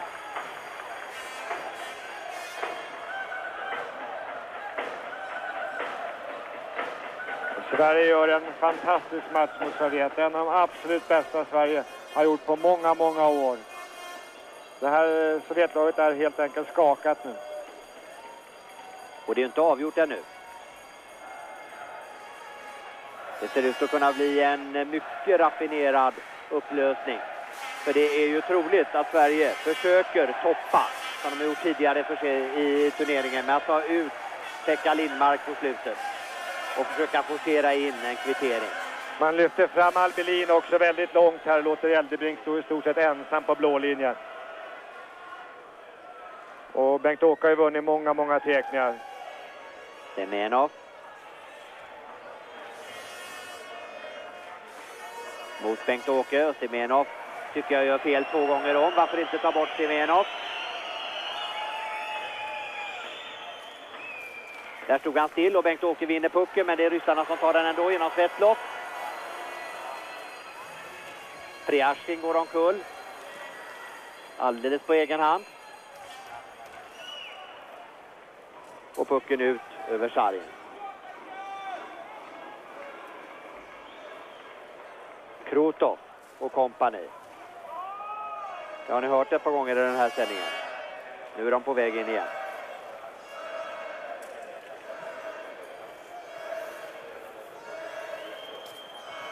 Och det är hela den fruktade första femman som plockas in. Så har det varit i hela den tredje perioden.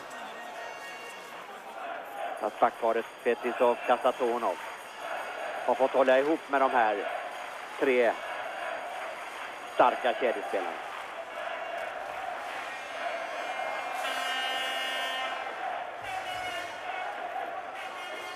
Nu chansar Sverige lite grann här. Eh, man byter ut Rundqvist mot Bengt-Åke bara för att Bengt-Åke ska få vila. Kommer säkert att använda ett fåtal spelare nu. Rundqvist alltså inne med Lob och, och Thomas Sandström. Ja, bara för att Bengt-Åke skulle få en 10 sekunders vila här vill man ha första kedjan ihop. Svenskarna gör långsamma byten nu. Nej, man byter in en helt ny femma. Maskens femma.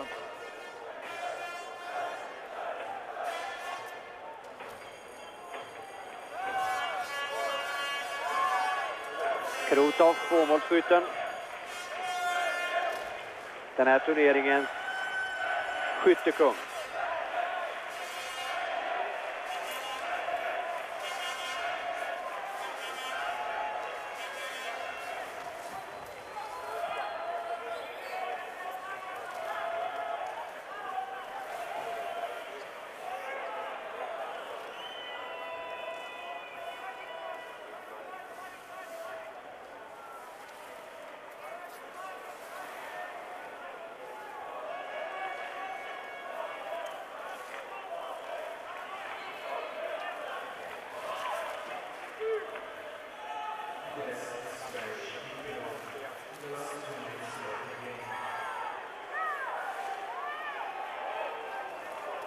Larionov. Rakt på Eldebrink. Oj, oj, oj. Pettersson var helt fri ett ögonblick. Det upptäckte Krotov, men han fick inte passningen rätt. Och det gäller för Sverige att få ner pucken i sovjetisk zon. Och den kommer dit nu. Bengt-Åke Gustafsson. Åh, vad stark han är där igen. Albelin och det är bra spelat och det är 2-2. Det är Thomas Sandström som gör målet. Åh, vilket underbart tidsgränssspel! spel! Det... Thomas Sandström och det är Bengt-Åke som ligger bakom igen. Ja, matchens stora kung.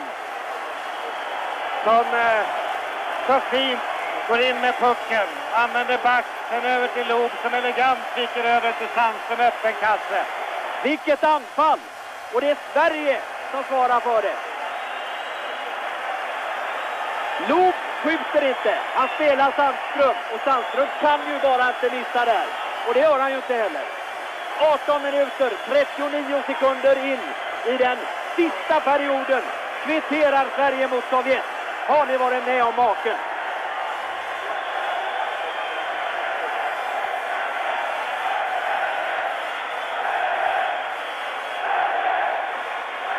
Ja, vilken strålande insats svenska laget har gjort. Och det känns... Titta på Kasatonov. Han grinar nästan på plan. Ja, det tror... känns inte orättvist alls efter Peter Sundströms stolpskott, efter Peter Anderssons friläge andra perioden, Bengt-Åkes i den här tredje. Det känns rätt på något sätt. 2-2. Håll undan nu också då.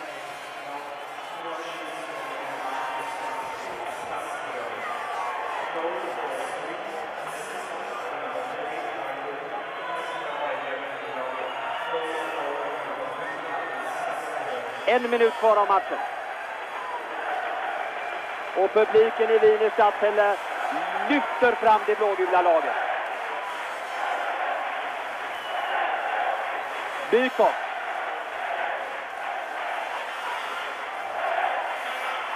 Starikov balanserar på blålinjen. Eklund.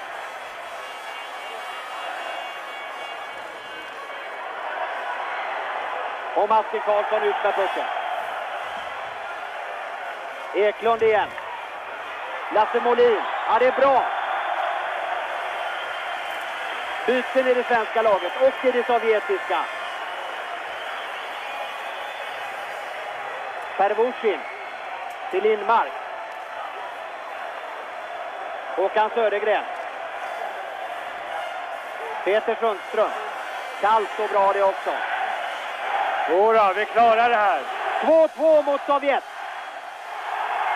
Och Sverige står kvar med chans till VM-titeln. Vi har att se fram emot två ordentliga rysare på söndag. Sverige-Kanada och Sovjet-Tjeckoslovakien. Och vilken match av Tre Kronor! Ja, det är strålande. Från Pekka i målet till sista spelare.